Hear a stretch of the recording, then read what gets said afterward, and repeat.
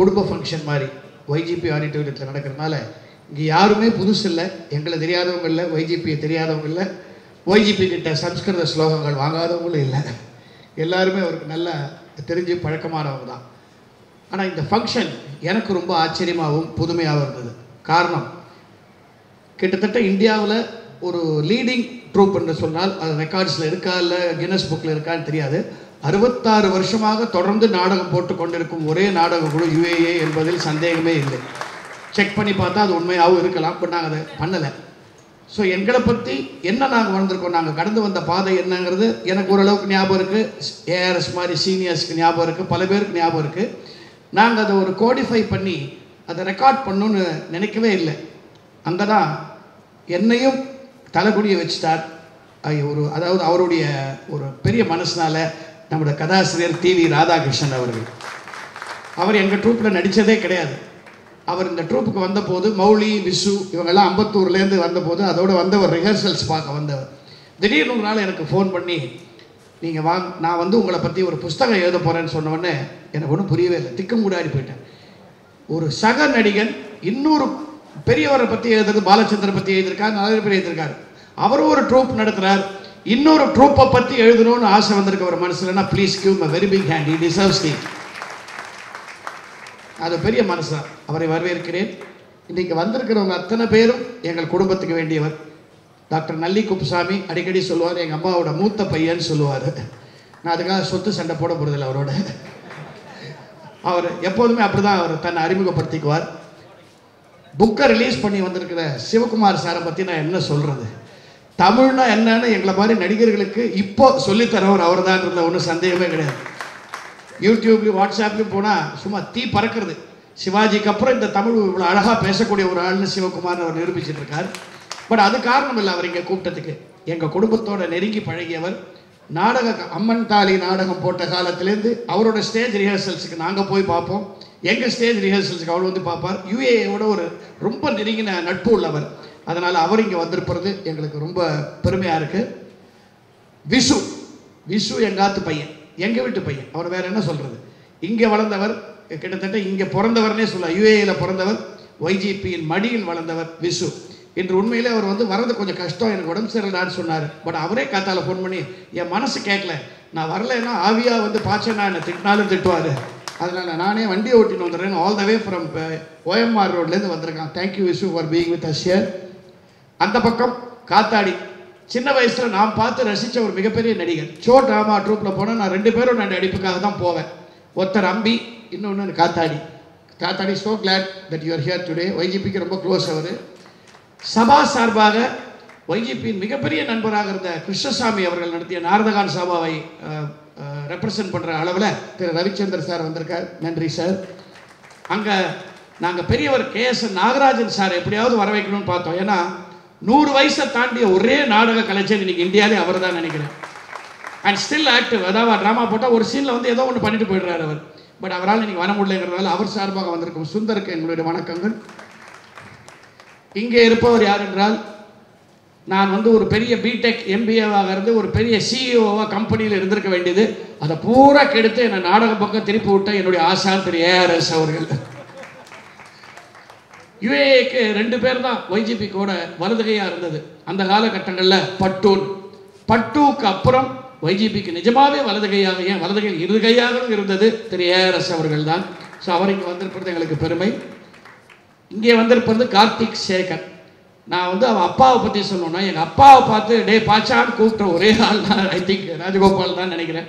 அவள் பேசிக்கும்போது ரொம்ப ஜாலியாக இருக்கும். ஸோ கார்த்திக் நான் சார்பில் சேகர் வந்திருக்கார். வணக்கங்கள். I think I covered every one இங்கே வந்திருக்கும் அத்தனை பேருக்கும். ஆ சாரி முக்கியமான ஒரு வந்தேன் அவர் கன்னோட வந்திருக்காரு கன் பார்த்தி அவர். எஸ்வி சேகர் இந்த ட்ரூப்பில் அசோசியேட் ஆனவர். ஏன்னா நாங்கள் போட்டு பத்மவியூகம் குருக்ஷேத்திரம் ரகசியம் பரம ரகசியம் தேடினேன் வந்தது நாடகம் வரைக்கும். எங்களுக்கு கம்ப்ளீட்டாக music and sound recording effects பண்ணி கொடுத்தது S V Sekar. So is part of UAA and today is a very prominent politician of course you is a good stage ஆக்டர்ன்றது எல்லாருக்கும் தெரியும். அவரையும் வருக வருக என்று வரவேற்கிறேன். அதை தவிர இங்கே இன்னொருத்தர் வந்திருக்காங்க. அந்த மூணு படம் நீங்கள் பார்த்தீங்க அதில். ஒன்று அஃப்கோர்ஸ் நான் இந்த பக்கம் நடுவில் ஒய்ஜிபி இந்த பக்கம் இருக்கிற பட்டு அவர் தான் பல நாடக ஆசிரியர்களுக்கு ஆசான். சோவுக்கே குரு என்றால் பட்டு என்றால் பார்த்துக் கொள்ளுங்க அப்பேற்பட்ட ஒரு மனு அவரும் எங்கள் அப்பாவும் சேர்ந்து தான் நைன்டீன் ஃபிஃப்டி டூவில் இந்த யுஏஏ ட்ரூப் ஆரம்பிச்சது. அவர் சார்பாக அவருடைய மச்சன ரமேஷ் இங்கே வந்திருக்கான். எங்கே ரமேஷ்? கொஞ்சம் எழுந்தில்ல I would like to welcome you also on stage later to receive the book I call you on stage and of course my extended family UAA members and all the other troupe members ஏன்னா இதை வந்து organise பண்ணது எங்கள் நாடக உலக producers association சேர்ந்து தான் இதை பண்ணியிருக்கோம். அத்தனை பேருக்கும் என்னுடைய மனமார்ந்த வணக்கங்கள். யூஏவை பற்றி நான் பேச போவதில்லை. ஏன்னா நான் என்ன நினைக்கிறேனோ அத்தனை இந்த புக்கில் எழுதியிருக்கேன். அதனால் நான் இப்போ பேசிட்டேன்னா நீங்கள் யாரும் புக்கை வாங்க மாட்டீங்க. அதனால் நான் இப்போ அதை பற்றி பேச போகிறதில்ல ஆனால் ஒரு நாடக குழுவை சேர்ந்தேன்னா இன்னொரு நாடக குழுவை பற்றியான புக்கை எழுதினது ஒரு சாதனை. இது வரைக்கும் யாருமே இந்த வேலையை செஞ்சதில்லை. அதுக்கு முக்கியமான காரணம் என் நண்பன் மகேந்திரன். ரெண்டாவது பட்டு போல மனசை கொண்ட நல்லி இந்த விழாவுக்கு தலைமை தாங்க வந்திருக்கிறது ரொம்ப மகிழ்ச்சி எனக்கு. மூன்றாவதா திரைத்துலக திரையுலகத்தின் மார்க்கண்டேயனாக திகழும் ஒருவர் நாடக உலகத்தின் மார்க்கண்டேயனாக இருக்கும் மகேந்திரனின் நூலை வெளியிட வந்திருக்கிறது. இன்னும் இன்னும் மட்டற்ற மகிழ்ச்சி. யுஏஏ ஆலமர விழுது போல நிகழ்ச்சியில் கலந்து கொள்ள வந்திருக்க ஏஆர்எஸ் விசு மௌலி மற்றும் நாடக உலக ஜாம்பவான்கள் காத்தாடி ராமமூர்த்தி கேஎஸ்என் சுந்தர் அப்புறம் எஸ்வி சேகர். எஸ்வி சேகர் வந்து அவர்கிட்ட ஒரு நாளைக்கு நான் என்ன சேகர் வரியா? அப்படின்பேன் அடுத்த நாள் பேப்பரில் அவர் பேரை பார்த்து என்ன சேகர் வரீங்களா? அப்படின்பேன் அந்த அளவுக்கான நட்பு அவருக்கும் எனக்கும். எப்போ பார்த்தாலும் அவரை ஒரு நட்பனாகவும் நான் ட்ரீட் பண்ணுவேன். என்னோட குருவாகவும் ட்ரீட் பண்ணிட்டு இருக்கேன். அதனால் அந்த சேகர் இன்னைக்கு இங்கே வந்திருக்காங்கிறதுக்கு எனக்கு ரொம்ப மகிழ்ச்சி. நேரமும் காலமும் எனக்கு ஒத்துழைத்தால் நாடகப்பிரியாவை பற்றியும் ஒரு நூலை எழுதுவேன். அது அடுத்த ஆண்டு சேகரே வெளியிடுவார். என்ன சேகர் கைத்தட்டேன்ப்பா இந்த இன்னொரு நிகழ்ச்சி ஒய்ஜிபி நூற்றாண்டு விழாவில் இந்த புக்கு ரிலீஸ் ஆகிறது. என்ன ஒரு பொருத்தங்கிறது நீங்களே பார்த்துக்கோங்க.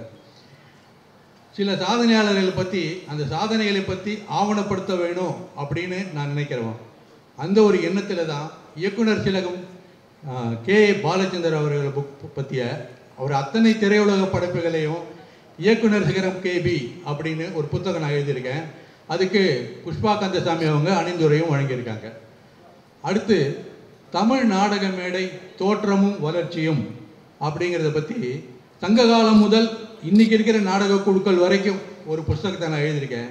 அந்த புஸ்தகத்தை படித்து பார்த்துட்டு நல்லி சார் அவர்கள் அணிந்துரை வழங்கியிருக்கார். அதுவும் ஒரு ஆவணப்படுத்தியிருக்கேன். மூணாவதாக நான் ஆவணப்படுத்தணும்னு நினச்சது இந்த யூஏஏவை பற்றி ஏன்னா யூஏலேருந்து போனவங்க எத்தனை பேர் ஜாம்பவானுங்க எத்தனை பேர் போயிருக்காங்க? நூற்றுக்கணக்கான கலைஞர்களை யூஏஏ அனுப்பிச்சிருக்கு. கண்ணன் வந்தான்னு ஒரு நாடகம் அதுதான் கௌரவம்னு சிவாஜி கணேசன் ஆக்ட் பண்ணி வந்தது. அந்த கண்ணன் வந்தான் நாடகத்தில் பாரிஸ்டர் ரஜினிகாந்தாக ஓஜிபி சொல்லுவார் ஒரு dialogue I am an university men may come and men may go but I go on forever அப்படின்ற ஆனால் அது உண்மையிலேயே பாரிஸ்டர் ரஜினிகாந்தோ ஓஜிபியோ சொல்லலை யூஏஏ சொல்லுது. UAA and university men may come யாரா கலைஞர்கள்லாம் வருவாங்க. அவங்க ட்ரைனிங் ஆகி போவாங்க. Men may come and men may go but UAA will be always there அதுதான் அந்த டைலாக்கோட இது ஒய்ஜிபி அன்னைக்கு அது நல்லா ஞாபகம் வச்சுன்னு அதை சொல்லியிருக்காரு இன்னைக்கு அப்படின்னு சொல்லி இந்த விழாவுக்கு வந்திருக்கிற எல்லாருக்கும் என்னுடைய நன்றிகளை தெரிஞ்சு வாழ்த்தி வணங்குகிறேன். அடுத்த நூற்றாண்டு யூஏஏ செலிப்ரேட் பண்ணும் அப்படிங்கிற நம்பிக்கை எனக்கு இருக்குது ஏன்னா அந்த அந்த தூணில் அவங்க மறைஞ்சிருக்காங்களே அவங்க இருக்கிற வரைக்கும் நூற்றாண்டு விழா கண்டிப்பாக அவருக்கு கொண்டாடுவாங்க. அப்படின்னு சொல்லி விடைபெறுகிறேன். நன்றி வணக்கம். மேடைக்கு பேச வரதுக்கு முன்னாடி சிவகுமார் நீங்கள் முதல்ல பேசிடுங்க எங்களுக்கு வேலை குறைஞ்சி போடும் அப்படின்னு சொன்னார்.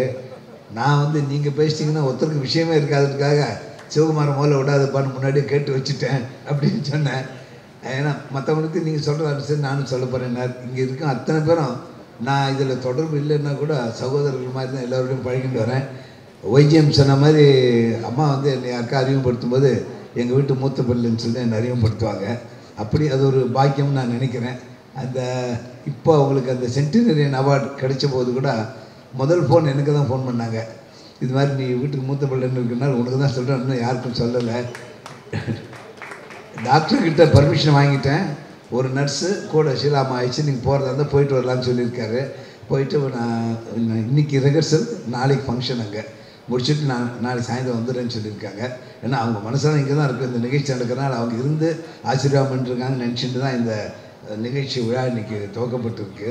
நான் ரொம்ப யூஏஎனுடைய பரம ரசிகர் கிட்டத்தட்ட ஆயிரத்தி தொள்ளாயிரத்தி ஐம்பத்தி ரெண்டில் ஆரம்பிச்சிருக்காங்க. இப்போது ஐம்பத்தி ரெண்டுலன்னா அப்போ நான் பள்ளி பள்ளிக்கூடம் படிச்சிருந்தேன். வீட்டில் சினிமா ட்ராமாக்கெல்லாம் விட மாட்டாங்க ஏன்னா கிட்டத்தட்ட ஐம்பத்தி ஏழுலேருந்து நாடகங்கள் பார்த்துட்டு வரேன். சில நாடகங்கள்லாம் வந்து உங்களால் மறக்கவே முடியாது. அந்த மாதிரி நாடகங்கள் flight number one seven two அது இன்னும் நிறைய சொல்லிட்டே போகலாம் இந்த புஸ்தகம் வந்து ராதாகிருஷ்ணன் சாருக்கு ஒரு வாழ்த்து என்னென்னா அவர் அப்படியே ஐம்பத்தி ரெண்டு கூடவே பயணிக்கிற மாதிரி சுருக்கமாக ரெண்டு ரெண்டு பக்கம் இருந்தால் கூட அந்த அந்த நாடகத்தை நீங்கள் எப்படி பார்த்துருப்பீங்க. இதில் உள்ளதை பாதிக்கு மேலே நீங்கள் பார்த்துருப்பீங்க. அதை நம்ம பார்த்துட்டு இருந்து திருப்பி ஞாபகப்படுத்திக்கிற மாதிரி ரொம்ப அழகாக எழுதியிருக்கார். சுருக்கமாக இருந்தால் கூட அவருக்கு என்னுடைய வாழ்த்துக்கள். மறுபடியும் அவர் சொன்னார் மற்றவங்களை பற்றி எழுத போகிறேன்னு அவசியம் எழுதணும். ஏன்னா சுருங்க சொல்லி வழங்க வைப்பதுன்னு சொல்லிட்டு ரொம்ப டீட்டெயில்டாக போகாமல் ரொம்ப எளிமையாக எழுதியிருக்கார். அதில் என்ன நடந்ததோ அதை மட்டும் விஷயங்கள் என்ன கொடுக்கணும் தொகுத்து கொடுத்துருக்கார். ஒவ்வொரு அதாவது நாட்டு இந்த விசேஷங்களை பற்றி எழுதியிருக்கார். நான் கூட ரொம்ப நாள் முன்னாடி நான் நினச்சிட்டு இருந்தது ஐம்பத்தி ரெண்டாக இருந்ததுனால இதுதான் முதல் அமைச்சர் நாடக சபாவாக இருக்கலாம்னு சொல்லிட்டு. அப்புறம் இப்போ தான் கேட்டேன். இவர்கிட்ட எச்சி சேகர்கிட்ட கேட்டேன். அப்போவே டாக்டர் ஃபேமஸ் இந்த டாக்டர் ராமூர்த்தி சர்ஜன் இருந்தார் இல்லையா? அவர் நாடகம் எனக்கு தெரிய தெரியாது. எனக்கு ரொம்ப எங்கள் குடும்பத்துக்கு ஆத்மாத்மா வேண்டியவர் டி இருந்தவர். நான் சின்ன குழந்தையாக இருந்தபோது அவர் தெரியும். அவர் ஒரு நாடக சபா நடத்துனதெல்லாம் எனக்கு தெரியாது. அப்புறம் அவர் கொஞ்சம் பிஸி ஆகிட்டனால அந்த சபா நிறுத்திட்டாருன்னு சொல்லிட்டு புது நியூஸ் யாராவது நாடக வரலாறு பற்றி எழுதினா கூட பரவாயில்லன்னு. அதுதான் அவர் சொன்னார். நானே எழுதலாம்னு நினச்சிட்டு இருக்கேன். ஒரே சமயத்தில் உட்காந்து எழுதுறது கஷ்டம். ஆகையினால தமிழ் அரசுடைய மாதாந்திர பத்திரிக்கை வருது அதில் வந்து இந்த கலை பகுதியில் ஒரு ரெண்டு பக்கம் மூணு பக்கம் வர மாதிரி ஒரு நூறு இஷ்யூ இல்லை எழுபத்தஞ்சு இஷ்யூ அது அவசியம் எழுதணும்னு நான் கேட்டுக்கிறேன். ஏன்னா அந்த காலத்தில் மாதாந்திர பத்திரிகை நாடகத்துக்காக மட்டுமே இருந்தது. சில பேருக்கு அது தெரிஞ்சிருக்காது. இவர் வெங்கட்ராமன் ஒன்று வெங்கட்ராமனா வெங்கட்ராமன் தான் பேர் அவர் ஒன்று நடத்தியிருந்தார் ஆறு அழகப்பன் ஒன்று நடத்தியிருந்தார் குமரி ஆனந்தன் ஒன்று நடத்தியிருந்தார் நல்ல நல்ல ஆர்டிகல்ஸ்லாம் வந்துடுது அது வந்து nineteen thirty six to nineteen seventy டூன்னு சொல்லிட்டு அந்த வெங்கட்ராமன் அடமை இருக்குது அது மறந்து வச்சிருக்கேன் அவர் தொடர்ச்சியாக எழுதினார். கிட்டத்தட்ட நாற்பது வருஷத்து வரலாறு எழுதினார். அப்புறத்தோட நின்று போயிட்டு அந்த இஷ்யூ நின்று போச்சு. அந்த பின்னாடி தொடர்ந்து எழுத முடியல. அந்த மாதிரி இந்த வரலாறு இப்போ வரக்கூடிய ச சமூக தெரியறதுக்கு ராதாகிருஷ்ணன் சார் மாதிரி உள்ளவங்களாம் கே எழுதணும்னு நான் பிரார்த்தனை கேட்டுக்கிறேன். அவருக்கு நமஸ்காரத்தையும் வாழ்த்தையும் தெரிவிச்சுக்கிறேன். இன்றைக்கி நாடக உலகம் இன்னும் நடந்துட்டுருக்குன்னா அது வந்து கார்த்திக் ராஜகோபால் தான் காரணம். அவர் ரெப்ரசன்ட் பண்ணி சேகர் வந்திருக்கார். பா இவர் கே பாலச்சந்தர் சொல்லியிருக்கார். நாம் கொண்டு போய் வந்து அவர்கிட்ட கொடுக்கணும். ஆனால் அந்த காலத்து சிஸ்டம் எப்படின்னா ஸ்கிரிப்ட் முதல்ல கொண்டு கொடுக்கணும். அதை ஒரு வரி விடாமல் படித்து பார்ப்பார். ராஜகோபால் சார். பார்த்துட்டு அதுக்கப்புறம் தான் மறுநாள் கூப்பிட்டு எஸ்ஆர் நோ சொல்லுவார். அந்த இருபத்தி நாலு மணி நேரம் எப்படி இருக்குன்னா எஸ்எல்சி பரீட்சை எழுதிட்டு ரிசல்ட்டுக்கு உட்காந்துருக்க பையன் மாதிரி இருக்கும். அவர் நோ சொல்ல போகிறா எஸ்எல் பாலச்சந்திரன் அந்த வார்த்தை சொன்னார்னா இப்போ எவ்வளோ ஸ்ட்ரிக்டாக இவர் ராஜகோபால் சார் இருந்திருக்கணும். அவர் சொன்னோன்னே அப்போ நிம்மதியாக இருக்கும். அந்த மாதிரி இன்றைக்கும் யாராவது காலமுறை வாக்கிங் போகும்போது எதிர்த்தாவில் ஒருத்தர் நாடகம் சம்மந்தப்பட்ட வந்தாருன்னா கையில் ஏதோ பேப்பர் வச்சுருந்தா இன்னும் புது ஸ்கிரிப்டான்னு கேட்பார். தற்காலிக அதாவது அவருக்கு அதை தவிர எண்ணமே இல்லை. புதுசு புதுசாக வரணும். நடுப்புற நாடக கலை கலை அதாவது கொஞ்சம் நலிஞ்சிருந்துன்னு சொன்ன காலகட்டத்தில் கூட விடாமல் தொடர்ச்சியாக இவங்க தான் வந்து புது நாடகம் தான் நான் போட்டு தரேன்னு சொல்லிட்டு கிட்டத்தட்ட எட்டுலேருந்து பன்னெண்டு நாடகம் வரைக்கும் ஒவ்வொரு வருஷம் கோடை நாடக விழாவில் போடுவாங்க அவங்க. ஜட்ஜஸ் அதுக்குன்னு வச்சு அதுக்கு ஒரு அதாவது அதுக்கு தூண்டுகோலாக இருக்கும்னு சொல்லிட்டு அதில் பெஸ்ட்டு நாடகம் பெஸ்ட்டு அதாவது இப்போ மேலப்புற அகாடமி கொடுக்குறாங்க இல்லையா? அந்த மாதிரி பெஸ்ட்டு கதாசிரியர் இந்த மாதிரிலாம் கொடுத்துட்டு வந்தாங்க. ரீசெண்டாக ஒரு காலத்து இயலிசை நாடகம் மட்டுமே கொடுத்துட்டு இருந்து இப்போ அதை கொடுக்குறாங்களான்னு எனக்கு தெரியல. இந்த மாதிரி வந்து இன்றைக்கி வந்து திருப்தியாக இருக்குது நாடகம் வந்து இவங்க பத்து நாள் நாடகம் ஒரு நாள் கூட ஒரு சீட் கூட காலி இல்லை. நாடகான சவால் அப்படி நிறைய இருந்துட்டு ரொம்ப அபூர்வம். நான் வந்து ஒரே ஒரு சந்தர்ப்பம் தான் நாடக சாரி நாடகான சவாலை இவர் பாடுறார். நீங்கள் மகாராஜ் ஒரு விஸ்வநாத் அதுதான் நிறைஞ்சி சில பேர் நின்றுட்டு இருந்து பார்த்தேன். இன்றைக்கி அதை தொடர்ந்து அதே மாதிரி எங்கள் அப்பா மாதிரி செஞ்சு அவருக்கும் நமஸ்காரம் தெரியப்படுத்திக்கிறேன். ஏஆர்எஸ் வந்து அவங்க எங்களுக்கு அறுபது அறுபத்தஞ்சி வருஷம் கஸ்டமர் அவங்க அம்மா பேரில் ஏஆர் சரஸ்வதி அம்மாள்னு அவங்க அக்கௌண்ட் இருந்தது.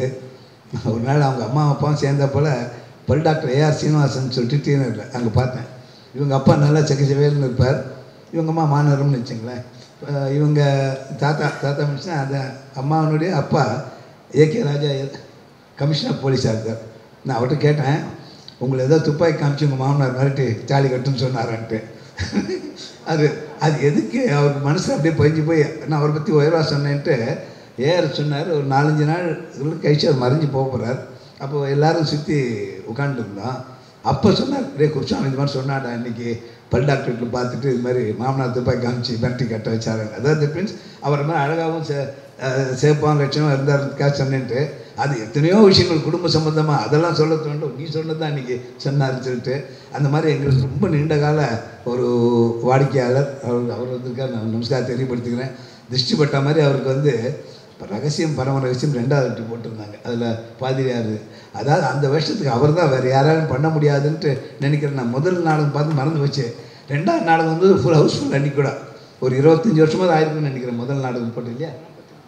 நாற்பத்தி மூணு வருஷம் ஆச்சு. கிட்டத்தட்ட யார் யார் எதில் ஆக்ட் பண்ணால் அவளை தான் அதில் வந்திருந்தாங்க. நான் அதுக்கப்புறம் வந்து இது மாதிரி திருஷ்டி உங்களை ஆயிடுத்துங்க அப்படின்னு சொன்னேன். இப்போ கொஞ்சம் பரவாயில்ல. இப்போ நான் சேஃப்டிக்காக தான் வச்சுருக்கேன். மற்றபடி நான் நடந்து வர முடியும்னு சொல்லிட்டு. எச்சி சேகரம் ஒரு ரெண்டு அதாவது நான் ஒரு சிரமமான நிலை சோதனை காலகட்டம்னு சொல்லக்கூடிய காலத்தில் அதுக்கு தைரியமாக இருந்து தைரியம் கொடுத்து எஸ்வி சேகர் சாரும் அதே மாதிரி கிரேசி மோகன் தான். அவங்க ரெண்டு ட்ராமாவுக்கு வந்து எப்போவுமே கிட்டத்தட்ட ஃபுல்லாக கூட்டம் வரும். கூட்டம் வரும்னு நான் ப்ரூவ் பண்ணிட்டு இருந்தாங்க. அவங்களுக்கும் என் நமஸ்காரத்தை தெரியப்படுத்தி நீங்கள் ஒரு ரெண்டு ரெண்டு மணி நேரம் இந்த உலகத்தை மறந்து இருக்கணும்னா அவங்க ரெண்டு பேர் நேரத்தை பார்க்கணும். நீங்கள் எல்லாமே மறந்துடுங்க. அப்புறம் தான் உலகம் ஞாபகம் வரும். அதே ஒரு அஹ், என்றும் இளைஞர் சிவகுமார் சார் சொன்னார் அன்னைக்கு இது ஒரு பதினஞ்சு நாள் ஒரு நிகழ்ச்சி நடந்தது. நான் முன்னாடியே பேசிட்டேன். இன்றைக்கி தலைமை ஒரு நீங்கள் தான் முன்னாடி பேசணும் பேசுங்கன்னாரு. அன்றைக்கி அவருக்கு இன்னொரு கமிட் பண்ணி எப்படி இன்றைக்கி வந்து ஒரு அவரை நல்லா பேசுறாருன்னா எல்லோரும் ஆசைப்படுறாங்க. வந்து பேசணும் பேசணும்னு சொல்லிட்டு நானே பல தடவை அவருக்கு தொந்தரவு பண்ணியிருக்கேன். அவர் சொன்னால் நான் ரெகுலராக மேடையில் பேசுகிற பேச்சாளர் இல்லைப்பா. என்னை அதிகமாக தொந்தரவு பண்ணாதுன்னா அதுக்கு நான் ஜாஸ்தி தொந்தரவு பண்ணுறதில்ல பட் அவர் இந்த நாடக சம்மந்தப்பட்ட விஷயமோ அது இலக்கிய சம்மந்தப்பட்ட விஷயம் வந்து அவரால் மறுத்து சொல்ல முடியறதில்ல. இன்றைக்கி பாலகிருஷ்ண சாஸ்திரிகளுடைய நூறாவது ஆண்டு விழா அது முடிச்சுட்டு நேராக தொண்ணூறா? தொண்ணூறு தொண்ணூறு ஆண்டு அது முடிச்சுட்டு தொண்ணூற்றி ஒம்பதா அது முடிச்சுட்டு அவசர அவசரமாக ஓடி வர்றார். அதனால தான் இப்போ மௌலியார்கிட்ட வந்திருக்க முடியாதுன்னு நினைக்கிறேன். அந்த மாதிரி அவருக்கு என்னென்னா டி நகரில் இருக்கார். அதனால் அடிக்கடி என்னுடைய நண்பன் விஸ்வநாதன் சொல்லிட்டு அவர் செ- சென்ட்ரல் பேங்க்கில் இருக்கார். அவருக்கு ரொம்ப அடிக்கடி அப்போ ரொம்ப சிம்பிள்னு எங்கள் பக்கத்து வீடு தான் அவங்க வீடு. அவர் பாட்டு அப்படியே விஸ்வநாதன் பார்க்கணும் சைக்கிள் ஏறி வந்துடுவார் அங்கே. நான் எத்தனையோ தடவை பார்த்துருக்கேன். நான் இது மாதிரி நான் அப்போ சினிமாவில் அடிக்க நடிக்க ஆரம்பிச்சாச்சு. அது அவர் சிம்பிளிசிட்டிக்காக சொல்கிறேன் முதல்ல சின்ன வீடு ஒன்று வாங்கினார். இன்னும் ராசின்னு சொல்லிட்டு அப்படியே வச்சுருக்கார் அவர் பிள்ளை பெரிய வீடு கட்டின்னு இருக்கார். இவர் இன்னும் அதே வீட்டில் தான் இருக்கார். அவருக்கும் அவருடைய எளிமைக்காக நான் அவரை நமஸ்காரம் பண்ணுறேன் விசு சார் வந்து நான் அந்த காலத்தில் ரொம்ப நான் ரொம்ப ரசிச்சு flight number one seventy two கூட நீங்கள் இருந்தீங்களா? அக்கானே ஆமாம் அது கரெக்ட் அது வந்து அவர் ராமூர்த்தி இருந்தார் இல்லையா? காக்காடி. காக்காடி. ஆ மௌலி இது மௌலி. தானே நாசுர வேஷம் போட்டது. ரொம்ப இன்றைக்கி நினச்சாவிட்டு சரிங்க அந்த flight number one seventy two அது ஒரு நவம்பர் மாதம் போட்டிருந்தாங்க. இங்கே எய்த்தாப்பில் ராமராவ் கலா மண்டபத்தில் டீனர் ஆர்ட்ஸ் அகாடமின்னு அந்த காலத்தில் இருந்தது. அன்றைக்கி நல்ல மழை. உள்ள இதுக்குள்ளே ஒரு அரை அடி தண்ணி நிற்கிது ஹாலுக்குள்ளே. அப்படி ஆமாம் அப்படி நடத்தினாரு. நான் நாங்கள்லாம் வண்டியை வந்து அந்த ஜீவா பார்க்கிட்ட விட்டுட்டு அப்புறம் நடந்து இன்னும் குழந்தைங்க போய் ஆகணுன்றாங்க நடந்தே வந்த மழையில். ஆனால் ரொம்ப குறைச்சா தான். எல்லாரும் டிக்கெட் வாங்கியிருந்தாங்க. அது எத்தனை சீட்டு அத்தனை டிக்கெட் விற்று போச்சு பட் ஐம்பதோ எழுபத்தஞ்சோ அவ்வளோ அவ்வளோ பேர் தான் இருந்தோம். முடித்த உடனே அவர் சொன்னார் எல்லாரும் டிக்கெட் வாங்கிட்டு இயற்கையினுடைய சதியினால் இன்றைக்கி வர முடியாமல் போச்சு. இதே நாடகத்தை நான் மறுநாள் போடுறேன். நீங்கள் வாங்க மறுநாள் தனியாக டிக்கெட் யாரும் வாங்க வேண்டாம்னு சொல்லிட்டு ரெண்டாம் நாள் போட்டார். அதுக்குள்ள மேலே குறை. இது சொல்ல வரேன்னா அவ்வளோ ஆசையோடு இருந்துட்டு வர முடியாமல் போயிடுச்சுன்னா பொதுவாக இப்போ நம்ம தப்பு இல்லை இல்லைங்களா? இப்போ நாடகம் நடத்துகிறவங்கள குறை சொல்ல முடியாது. அப்புறம் ரெண்டாம் நாள் நடந்தது. ஆனால் அது நீங்கள் நூறு தடவை பார்த்தா கூட அது ரசி அது என்ன சொல்கிறது அவ்வளோ ரசிப்பீங்க நீங்கள் தான் பு- முது புதுசாக பார்க்குற மாதிரி. நான் திருப்பி போட முடியுமான்னு கேட்டேன். அதை ஸ்கிரிப்ட் தொலைஞ்சு போச்சு அப்படின்னு சொன்னார். வயசாகிடுச்சு வயசானாலும் ஏன்னா ஒரு தடவை இவர் ஜோ வந்து முகமது பின் துக்ளக் போட்டார். போட்டபோது ஸ்ரீதர்னு ஒரு பேர் ஞாபகம். லட்சவணி இருக்கார் ஆடிட்டர்னு சொல்லிட்டு. அது முதல் ட்ராமா ஆயிரத்தி தொள்ளாயிரத்தி எழுபது அதில் அவர் ஸ்டூடெண்ட்டு காலேஜ் ஸ்டூடெண்ட் இருபது வயசு இருக்கும் இப்போ சமீபத்தில் போட்டார். ஒரு அவர் இருக்கும்போது வச்சுனேன் பத்து பதினஞ்சு வருஷம் இருக்கலாம். அப்போ நீங்கள் பார்த்தீங்கன்னா ஒரு நாற்பது வருஷம் கூட்டியிருக்கோம் முப்பத்தஞ்சு வருஷம் கூடி இருக்கும் அதாவது இருபது ஒரு முப்பத்தஞ்சுனா ஆஃபீஸ் வேலை செஞ்சு செய்கிறாரு வயசு ஐம்பத்தஞ்சு. அந்த கதையில் பார்த்தீங்கன்னா அவரே தான் ஸ்ரீதர் தான் அந்த பாத்திரத்தில் வந்தார். அவர் வந்து ஸ்டூடெண்ட்டாக வந்தார். மக்கள் ஏற்றுனாங்க ஏன்னா இவங்க அந்த அப்போவே நடித்தவங்க திருப்பி பார்க்க சந்தோஷமாக இருந்தது. அப்புறம் இன்னொன்று சொல்றார். இப்போ ஏஆர்எஸ் பற்றி பேசும்போது அது ஞாபகம் வந்து எனக்கு. அவர் சொல்கிறார் எங்கள் ட்ரூப்பில் நான் செஞ்ச புண்ணியம் என்னோடு யார் யாரெல்லாம் ஆயிரத்தி ஐம்பத்தி நாலு ஐம்பத்தாறு ஆரம்பித்த போது விவேகா ஃபைனான்ஸில் இருந்தாங்களோ அத்தனை பேரும் பல இடங்களில் வேலை செஞ்சாலும் ட்ரான்ஸ்ஃபர் ஆகாமல் இங்கே இருந்தாங்க. அவங்களுக்கு ப்ரொமோஷன் வந்து கூட வேண்டாம்னு சொல்லிட்டு இங்கே இருந்து இங்கே ப்ரொமோஷன் பண்ணி நான் கொடுங்க போதுன்னு சொல்லிட்டு இருந்தாங்கன்னு. ஏஆர்எஸ் ஒரு ஸ்டேஜ் இருந்தார் ஃபிலிப்ஸ் இருந்ததுனால மூணு வருஷத்துக்கு ட்ரான்ஸ்ஃபர் என்பது அடிக்கடி போக முடியாது. அதனால தான் சில நாடகங்களை அவளால் அவரால் நடிக்க முடியாமல் போச்சு. பதிலுக்கு சில பேரை நடிக்க முடியாது செய்ய முடியும். நிர்பந்தம் வந்துன்னு அது அந்த விதத்தை நான் புண்ணியம் பண்ணுவேன்னு சொன்னேன் அண்ணன் தம்பியோ ஒன்றா ஒரு ஊரில் இருக்க முடியாமல் இருக்கும்போது நாங்கள் எல்லாரும் ட்ரூப் மொத்தமே நாடகம் நடத்தினது நான் இங்கே இருந்தோம்னு சொல்லிட்டு அதே மாதிரி காத்தாடி சார் காத்தாடி சார் கோபு இவங்க மூணு பேரும் அது நாடக சம்மந்த விழாவாக இருக்கட்டும் அல்லது மியூசிக்கோ அல்லது டான்ஸோ அல்லது பாராட்டு விழா விருது வழங்குவோம்னா நிச்சயமாக அவங்கள பார்க்கலாம். எத்தனையோ தூரம் சேகர் தான் சேகர் சாரம் சேகர் இவங்க வந்து இப்போல்லாம் சமூக நாடகமாக இருக்கிறனால போய் காஸ்டியூம் போட வேண்டிய வேலை இல்லை. சேகர் சாரும் அதே மாதிரி காத்தாடி சாரும் வந்துட்டு நிகழ்ச்சி வந்தோடனே உடனே அவசரம் நம்ம அன்னைக்கு ட்ராமா இருக்கும். ஏழு மணி ட்ராமா இருக்குது சொல்லிட்டு நான் கிளம்பி போகிறேன்னு சொல்லிட்டு கிளம்பி போயிருக்காங்க. ரொம்ப அவங்க நான் ரொம்ப பாராட்டுறேன் மனமாற பாராட்டுறேன். ஆர் கிருஷ்ணசுவாமி எங்கள் குடும்பத்தில் ஒருத்தர் அவர் எனக்கு சில சந்தர்ப்பங்களில் வந்து தகப்பனார் மாதிரி இந்த போட்டோ வந்து உதவி செஞ்சவர் சட்ட ஆலோசனை கொடுத்தவர். அவர் சார் நான் வந்து அவருடைய மறைவுக்கு அப்புறம் அதே நமக்கு கௌரவம் அதே மதிப்பு அதே பிரியம் பாசம் அன்பு இருக்குமா? இல்லாமல் போயிடுமான்னு பயந்தேன். அப்போ வந்து அது மாதிரி வந்து நான் பார்த்துக்கிறேன்னு சொல்லிட்டு அவர் எனக்கு தெரியாமல் இவர் நியமிச்சுட்டு போயிருக்கார். ரவிச்சந்திரன் வந்து எது வேணாலும் எனக்கு சொல்லுங்கள் நீங்கள் ஆக்கே இருந்தால் எப்படி உங்களுக்கு உண்டோ அதே மாதிரி நடக்கும்னு சொல்லிட்டு அவருக்கு என் நமஸ்காரத்தை தெரியப்படுத்திக்கிறேன். கே எஸ் நாராயண் சார் நூறாவது வயசு முடிஞ்ச பிறகு ஒரு பாராட்டு விழா நடந்தது. கரெக்டாக அந்த அந்த பாராட்டு விழாவுக்கு மேடைக்கு வந்து வாங்கிட்டார். அன்றைக்கி வாக்கிங் ஸ்டிக் கூட கூட பக்கத்தில் நடந்து வந்தார். அவங்கெல்லாம் இது பெரிய சந்தோஷமான விஷயம். நாடக உலகத்துக்கு இத்தனை வருஷம் பாடுபட்டவர்கள் வந்து நூறாண்டுகளில் அவங்க ராமானுஜர் மாதிரி நூற்றி இருபது வருஷம் இருக்கணும்னு நான் பிரார்த்தனை பண்ணிக்கிறேன். அவருடைய பொறுப்பில் அவர் மகன் வந்திருக்கார். எல்லாமே இப்போ நீ இப்போ கூட இந்த போட்டு பத்து நாடகத்தையும் கிட்டத்தட்ட எல்லா நாடகமும் நீங்கள் பாராட்டி மதுரை மாதிரி தான் இருக்கும் ப- ஏ ஒன்று வேதாளம் போட்டிங்களே நீங்கள் நான் போக முடியல. அப்போ நேற்று திடீர்னு நான் எதுக்கோ எம்எஃப்ஏவில் போயிருந்தேன். இன்றைக்கி ஏ ஒன்று ஏதாவது சரி பார்த்துட்டு வந்தேன். ஒரு புது மாதிரி இருக்குது அதாவது வேறு மாதிரி நீங்கள் சில பேர் பார்த்துக்கலாம். அந்த மாதிரி புது வர அதாவது புது டெக்னிக்கலில் புது மாதிரி கதை இருந்தால் நீங்கள் ஆதரவு கொடுக்கணும். அப்போ தான் அவங்க புது நாடகம் போடணும்னு சொன்னோம் நான் எல்லா சார்பிலையும் மீண்டும் என்னுடைய நமஸ்கார் தெரியப்படுத்தி கொண்டு என்ன பெரிய பொறுப்பு எனக்கு தலைமை பொறுப்பு கொடுத்ததுக்காக மீண்டும் என்னுடைய குடும்ப சார்பில் மகன் சார் நன்றியை சொல்லிக்கொண்டு விடைபெறுகிறேன். நன்றி வணக்கம். எனக்கு தெரிஞ்சு மிக நீண்ட நேரம் நல்லி பேசுனது இந்த விழாவில் தான் நினைக்கிறேன். ஏன்னா அவர் ரொம்ப சுருக்கமாக பட்டு கத்திரிச்ச மாதிரி தான் பேசுவார். ஏன்னா அவருடைய பிஸ்னஸே நல்லி பட்டு. ஆனால் எந்த மேடையெல்லாம் அந்த சின்ன ஸ்டேஜில் அந்த ஒரு ஷாலை கூட போத்திருக்குன்னா அந்த ஃபங்க்ஷனுக்கு நல்லி வராருன்னு அர்த்தம். இந்தியாவில் உலகத்திலேயே இந்தியாவில் தமிழ்நாட்டில் மட்டும்தான் வருஷத்துக்கு மூவாயிரம் கச்சேரிகளுக்கு மேல் நடக்கிறது என்றால் அது ஒரு பெரிய வேர்ல்டு ரெக்கார்ட் அந்த மூவாயிரம் கச்சேரிகள் அந்த டிசம்பரில் நடக்கும்போது அதில் ஆயிரத்தி ஐநூறு கச்சேரிக்கு மேலே ஸ்பான்சர் பண்ணுற ஒரே பர்சன் மல்லிகோ புசாமி செட்டியார் அவர்கள். மகேந்திரன் நானும் செவன்டீஸ்லேருந்தே ஃப்ரெண்ட்ஸு இந்தியாவுடைய யூனிட்டி இன் டைவர்சிட்டிக்கு நாங்கள் ரெண்டு பேர் தான் பெரிய உதாரணமாக இருந்து கொண்டிருப்போம். ட்ராமா வேறு ஃப்ரெண்ட்ஷிப் வேறு. அப்படி தான் நாங்கள் இன்னி வரைக்கும் இருக்கோம். இதுக்கு என்ன உதாரணம்னா மகேந்திரங்கிறது அந்த நடிப்புனா நடிப்பு இல்லாத அவன் ட்ராமா போட்டது நான் பார்த்ததே கிடையாது. ஆனால் நாங்கள் ட்ராமா ட்ரூப் ஆரம்பித்ததே ஃப்ளைட் ஒன் செவன் டூ பார்த்து தான் ஆரம்பித்தோம் காரணம் என்னென்னா ஒரு ட்ராமா ஒரு என்டர்டெயின்மெண்ட்டாக இருக்கணும். இவ்வளோதான் எங்களுடைய டேக்லைன் நூறு நிமிஷத்தில் இரநூறு சிரிப்புகள்.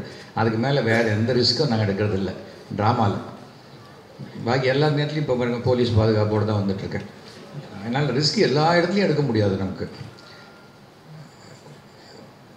நான் இந்த நிகழ்ச்சியில் பேசுகிறதுக்கு முக்கிய காரணம் எங்கள் நாடகக்குழு ஆரம்பித்த பொழுது அந்த முதல் ட்ராமாவை எழுதி முதல் முதல்ல ஆன் ஸ்டேஜ் டைரக்ட் பண்ணது மௌலி. அதனால் எங்கள் ட்ராமா ட்ரூப்போடைய அந்த ஃபஸ்ட்டு குத்துவிளக்கு ஏற்றி ஆரம்பித்து வைத்தது பாச்சண்ணா தான் ஆரம்பித்து வச்சார் எங்கள் ட்ராமா டேய் நாசமாக போங்கடா அப்படின்னார். அது எதற்காக சொல்கிறேன்னா அவருடைய வாயிலேருந்து வர வார்த்தைகள் மனசுலேருந்து வர்றது கிடையாது. அவர் ஆயிரம் பேஜ் எனக்கு பாச்சண்ணாவை நான் பார்க்கணும் அப்படின்னு சொன்னாக்க அந்த சம்ஸ்கிருதத்தை நான் வந்து மகேந்திராகிட்ட பார்க்குறேன். ஆனால் அந்த மனசு இன்றைக்கி தமிழ்நாட்டில் எவ்வளவோ சின்ன படங்கள்னு சொல்கிறாங்களே எத்தனையோ சின்ன படங்கள் ரிலீஸ் ஆச்சுன்னா அதுக்கு ஒரு ரா ஸ்டாக் வேணும் போது ஒய்ஜி பார்த்தசாரதி ஆஃபீஸில் போய் தான் நிற்பாங்க கையில் க அதுக்கு பர்மிட் இருக்குமா இருக்காதா தெரியாது. என்ன என்ன தெரியாது. அந்த பர்மிட் எழுதி கொடுத்து போட அப்படின்னு சொல்லி அந்த ஃபிலிம் ரோலுக்கு சாங்ஷன் பண்ணி ஆரம்பிச்சு அவ்வளோ நல்ல மனது உடையவர் அவர். ஒரு ஒரு வம்சம் நன்றாக இருக்கிறது என்றால் அதற்கு முந்தைய தலைமுறைகள் சாபம் வாங்காமல் ஆசீர்வாதத்தை வாங்கியவர்கள் அதுதான் நல்லா இருக்காங்க. இல்லைன்னா கஷ்டம். இந்த நிகழ்ச்சி பார்த்தீங்கன்னா நமக்கு வந்து என்னை கூட கேட்டாங்க. ஒரு தடவை நான் கலைஞரை அவர் வீட்டில் பார்த்தேன். போன வாரம் நீங்கள் ஏதோ நூல் வெளியிட்டீங்களாமே அப்படின்னு கேட்டார் என்ன. இல்லையே நான் தினசரி நூல் வெளியிட்டு இருக்கேனே அப்படின்னேன் காரணம் வந்து நமக்கு அந்த நகைச்சுவையை ரசிக்கக்கூடியவர் அவர். இன்றைக்கி கூட அவர் இல்லை. ஆனால் அதை எடுத்து இந்த பாட்டு பதிலில் ப்ரேயர் சாங்லேயே இருபத்தஞ்சி தடவை கருணாநிதி வந்துட்டார். இதெல்லாம் சிலதெல்லாம் பிளஸ்டு விஷயங்கள். சில எல்லா விஷயமுமே நூறு வருஷம் ஆகும் நூற்றி ஒரு வருஷம் ஆகும் நூற்றம்பது வருஷம் ஆகும். சில சமயம் அது அந்த உலக இதுலேயோ கால இதுலேயோ கண்டுக்காம கூட போயிடும். அதை அந்த சரியான நேரத்தில் அதை ரெகக்னைஸ் பண்ணி பண்ணுவதற்கு உண்டான அந்த மனசு வந்து அந்த வம்சத்துக்கு இருக்கணும். அது வந்து ஒய்ஜி மகேந்திராவுக்கு இருக்கிறது. யூஏஏ வந்து இப்போது அறுபது வருஷத்துக்கு மேலே ஆச்சு. வாழ்த்த வயதில்லைன்னு தான் சொல்லணும். ஏன்னா எங்கள் ட்ராமா ட்ரூப் வந்து இப்போ நாற்பத்தி ஆறு வருஷம் தான் ஆச்சு. ஆனால் கண்டிப்பாக யூஏஏ நூறு வருஷம் செலிப்ரேட் பண்ணோம். காரணம் என்னென்னா இதோ மதுவந்தி மதுவந்தியோட பையன் பேரன் எல்லாருமே கண் கண்டிப்பாக பண்ணுவாங்க. அந்த இந்த மாதிரி ஒரு ஃபேமிலி ஆக்ட் பண்ணி நான் பார்த்ததே கிடையாது. மகேந்திரா மகேந்திரா சுதா டாக்டர் அது பெரிய ஒரு விஷயம். ஆக்ட் பண்ணணும்னு ஆசைப்படலாம். என்கிட்ட ஒரு ட்ராமா போது ஒருத்தர் வந்து கதை சொன்னார். சூப்பரான கதை சார் நீங்கள் பண்ணணும் அப்படின்னு சொல்லி இல்லை இல்லை சொல்லிடுறேன். அதை சொல்லணும். அது சாதாரணமான ஒரு விஷயம் கிடையாது. ஏழு வேஷம் அந்த ஏழு ஆட்கள்னு சொல்லி கதை சொன்னார். நான் சொன்னேன் யோகி இதுக்கு நான் ஒரு டி நகரில் போ ஒரு அட்ரஸ் தரேன். இந்த மாதிரி நடிப்புக்கு அங்கே தான் ஒரு ஆள் சரியாக இருப்பான். எங்கிட்டலாம் நான் வராத. நான் வந்து ட்ராமா ஆரம்பிக்கிற வரைக்கும் வெளில பேசிகிட்டு இருப்பேன். வெளில அடிச்சோன்னு உள்ளே போய் நடிச்சுட்டு வருவேன். என் ட்ராமாவில் ஃபஸ்ட்டு சீனும் லாஸ்ட்டு சீனும் ஒரே ட்ரெஸ் தான் போடுவேன். ஏன்னா வந்த ட்ரெஸ்ஸோட ஃபஸ்ட் சீன் நடிப்பேன். வீட்டுக்கு போகிற சீன் இருந்தாலும் லாஸ்ட் சீனில் அந்த சட்டையை போட்டு நடிச்சிட்டு போயிடுவேன். அதனால் எங்கள் ட்ராமாக்கெல்லாம் வேறு பாலிசி நாங்கள் எவ்வளோ லேட்டாக ஆரம்பித்தாலும் கரெக்டாக இதுக்கு முடிச்சிருவோம். இதெல்லாம் நாங்கள் எங்கள் கொள்கைகளாக வச்சுருக்கோம். அதனால் அது வேறு ஸ்டைல் ஆனால் ஐயோ மகேந்திரன் இருக்கிற டயத்தில் நாம் எப்படி அதெல்லாம் நான் நினைக்கிறது இல்லை. ராமாயணம்னா ராமர் இருப்பார் ராவணன் இருப்பாங்க. அதில் ஒன்றுமே இல்லை. ரெண்டு பேர் இருந்தால் தான் இன்னும் ராமருக்கே மரியாதை. ராமணன் இல்லைன்னா ராமருக்கு எப்படி? அதனால் என்னை பொறுத்த வரைக்கும் லைஃப்பில் ஃப்ரெண்ட்ஷிப் வேறுபட்ட கருத்துக்கள் இருக்கிறவங்க ஃப்ரெண்டாக இருக்கிறது தான் உலகத்தில் பெரிய ஒரு விஷயம். I wish Mahendra and whole group இது ஒரு இது சாதாரணமான ஒரு விஷயம் இல்லை. பதிவு என்பது ரொம்ப முக்கியம். இதை அடுத்த ஸ்டேஜ் வந்து இதை வானதி பதிவு தான் இன்டர்நெட்லேயும் இந்த புக்கை ரிலீஸ் பண்ணிடணும். காரணம் மேக்ஸிமம் இன்றைக்கி தெரிஞ்சு வெளியில் விற்கிறதுக்கு புக்கே இருக்காதுன்னு நினைக்கிறேன். எல்லாருக்குமே இலவசமாக கொடுத்துட்டீங்க. அதை தாண்டி சொல்கிறேன் இன்னும் இருக்கா சரி. இது வந்து இனிமேல் நாடகத்தை சேர்ந்தவர்கள் யாருக்காவது ஏதாவது ஒரு ஃபங்க்ஷன் ஏதாவது ப்ரெசென்ட் பண்ணும்போது அதுக்கு இந்த புக்கை ப்ரெசென்ட் பண்ணுறது ஒரு புத்திசாலித்தனமான ஒரு விஷயமாக இருக்கும் என்பதை தெரிவித்துக் கொள்கிறேன். வாய்ப்புக்கு நன்றி. வணக்கம். என்னை வந்து அடிக்கடி ரொம்ப பேர் என்னை கேட்பாங்க. இந்த டிசம்பர் மாதத்தில் ஒரு ஃபெஸ்டிவல் நடக்குது which is unheard of in any other country வெளிநாடுகள்லாம் ஏன் சார் இந்த மாதிரி பண்ணுறதில்ல இந்தியாவிலேயும் ஏன் மெட்ராஸில் மட்டும் நடக்குது? இதுக்கு காரணம் சொல்லுங்கன்னாரு. ஒரே காரணம் நல்லி இங்கே இருக்கார் அப்படின்னு சொன்னாங்க. அவர் அமெரிக்காவில் இருந்தால் அங்கே நடக்கும். நம்ம அதிர்ஷ்டம் அவர் சென்னையில் இருக்கார் இங்கே நடந்துகிட்ருக்கு நல்லி சாருக்கு என்னுடைய வணக்கம். சிவகுமார் என்னுடைய பால்ய சிநேகிதன். அவர் இன்னும் பால்யன் நான் சிநேகிதன் மட்டும்தான். அதான் வித்தியாசம். சிவகுமார் ஆரம்ப காலங்களில் படங்களுக்கு வரைச்ச அவர் ஒரு நாடக வெறியன்னே சொல்லலாம். அந்த அளவுக்கு நாடகங்கள் பார்க்கணும். தான் ட்ரூப் ஆரம்பித்து நடத்தணும் அப்படின்னு ஒரு பெரிய ஆர்வம் உண்டு. அப்போது நிறைய யுஏ நாடகங்கள் வந்து பார்த்துருக்கார். இன்றைக்கு யுஏ புக்கை ரிலீஸ் பண்ணக்கூடிய நியாயமான ஆள் தான் சிவகுமார் அவர்கள் தான். என்னுடைய வாழ்த்துக்கள் சிவகுமார்.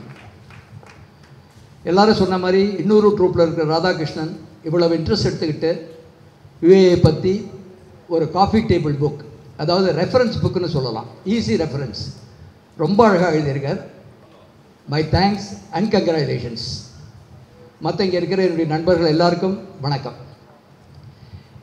இன்னைக்கு பாச்சனாவுடைய பர்த்டே நூற்றி ஓராவது பர்த்டே அவருடைய சென்டனரி செலிப்ரேட் பண்ணோம். லாஸ்ட் செப்டம்பரா மகன் மகேந்திரா.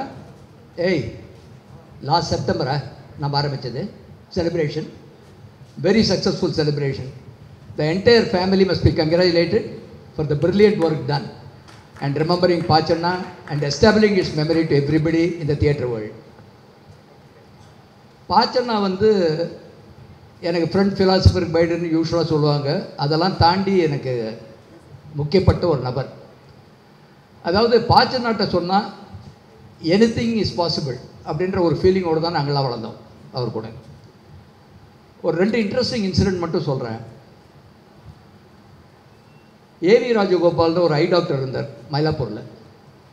நான் என்னுடைய ஐ டெஸ்ட் பண்ணிக்க அவர் போகும்போது it was in nineteen seventy five what I'm talking is around February March திடீர்னு அவர் சொன்னார் ஏன்டா நீங்கள்லாம் வந்து ஒய்ஜிபி ட்ரூப்பில் மேடையில் தூள் கிளப்புறீங்க இந்த டெலிவிஷன் ஒன்று வருது அதில் ஏதாவது ஆக்ட் பண்ண வேண்டாமாடா நீங்களான்னு எனக்கு கேட்டார்.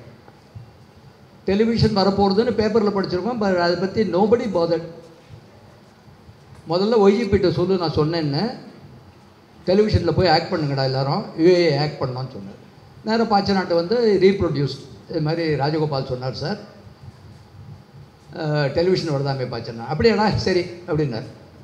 Nineteen seventy five August fifteenth வந்து TV was inaugurated we were the first troupe to act in television that was YGP இப்படிங்கிறதுக்குள்ளே காரியத்தை சாதிச்சிட்டார் அவர்.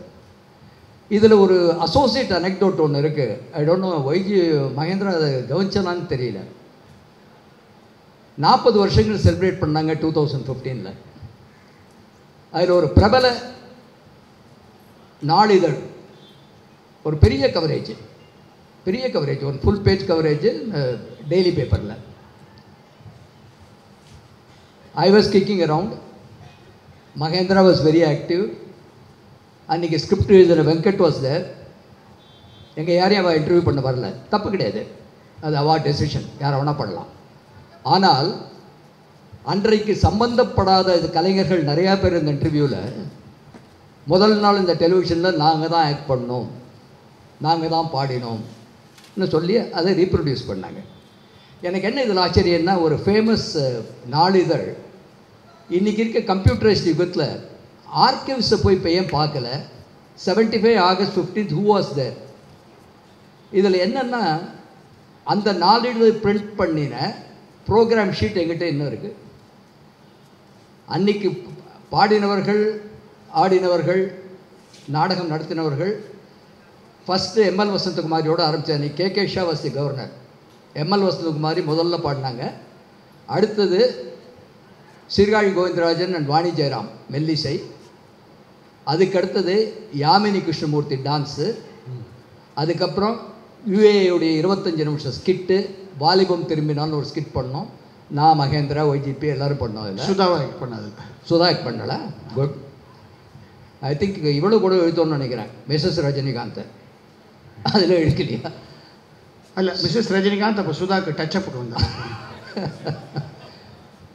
ஸோ நாங்கள்லாம் ஆக்ட் பண்ணோம். இதில் என்ன வேடிக்கைன்னா இதில் சம்மந்தப்படாத நிறைய பேர் நாங்கள் ஆக்ட் பண்ணோம்லாம் சொல்லிட்டாங்க. எனக்கு பொறுக்கலை. ஏன்னா இக்கூட good interview Mahendra was very active but ஏன் அவள் வந்து why don't the going to the argues and see wrong information கொடுக்கறது வந்து கொஞ்சம் தப்புன்றது என்னுடைய ஒப்பீனியன் எப்போவுமே. நான் அவங்களுக்கே ஃபோன் பண்ணேன். ஃபோன் பண்ணி இந்த person in charge apologise to me அது பண்ணினவங்க தப்பாக பண்ணிட்டாங்க சார். நான் அதை பண்ணியிருக்கணும். தப்பு தான் நீங்கள் ஒரு மறுப்பு கடிதம் எழுதி போடுங்கன்னு சொன்னார். நான் வேண்டாம்.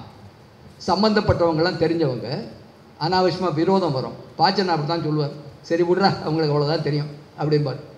ஸோ அந்த ஆட்டிடியூட் நான் எடுத்துனேன். எதுக்கு சொல்ல வரேன்னா there is lot of things to celebrate about UAA not one அறுபத்தாறு வருஷமோ ஒய்ஜி மகேந்திரா டாப்பில் ஆக்ட் பண்ணுறதோ பிரில்லியன்ட் டேரக்டர்ஸ் அண்ட் ரைட்டர்ஸை நீங்கள் இன்ட்ரடியூஸ் பண்ணுறதோ தவிர எவ்வளவோ விஷயங்கள் இருக்குது this is hats off to YGP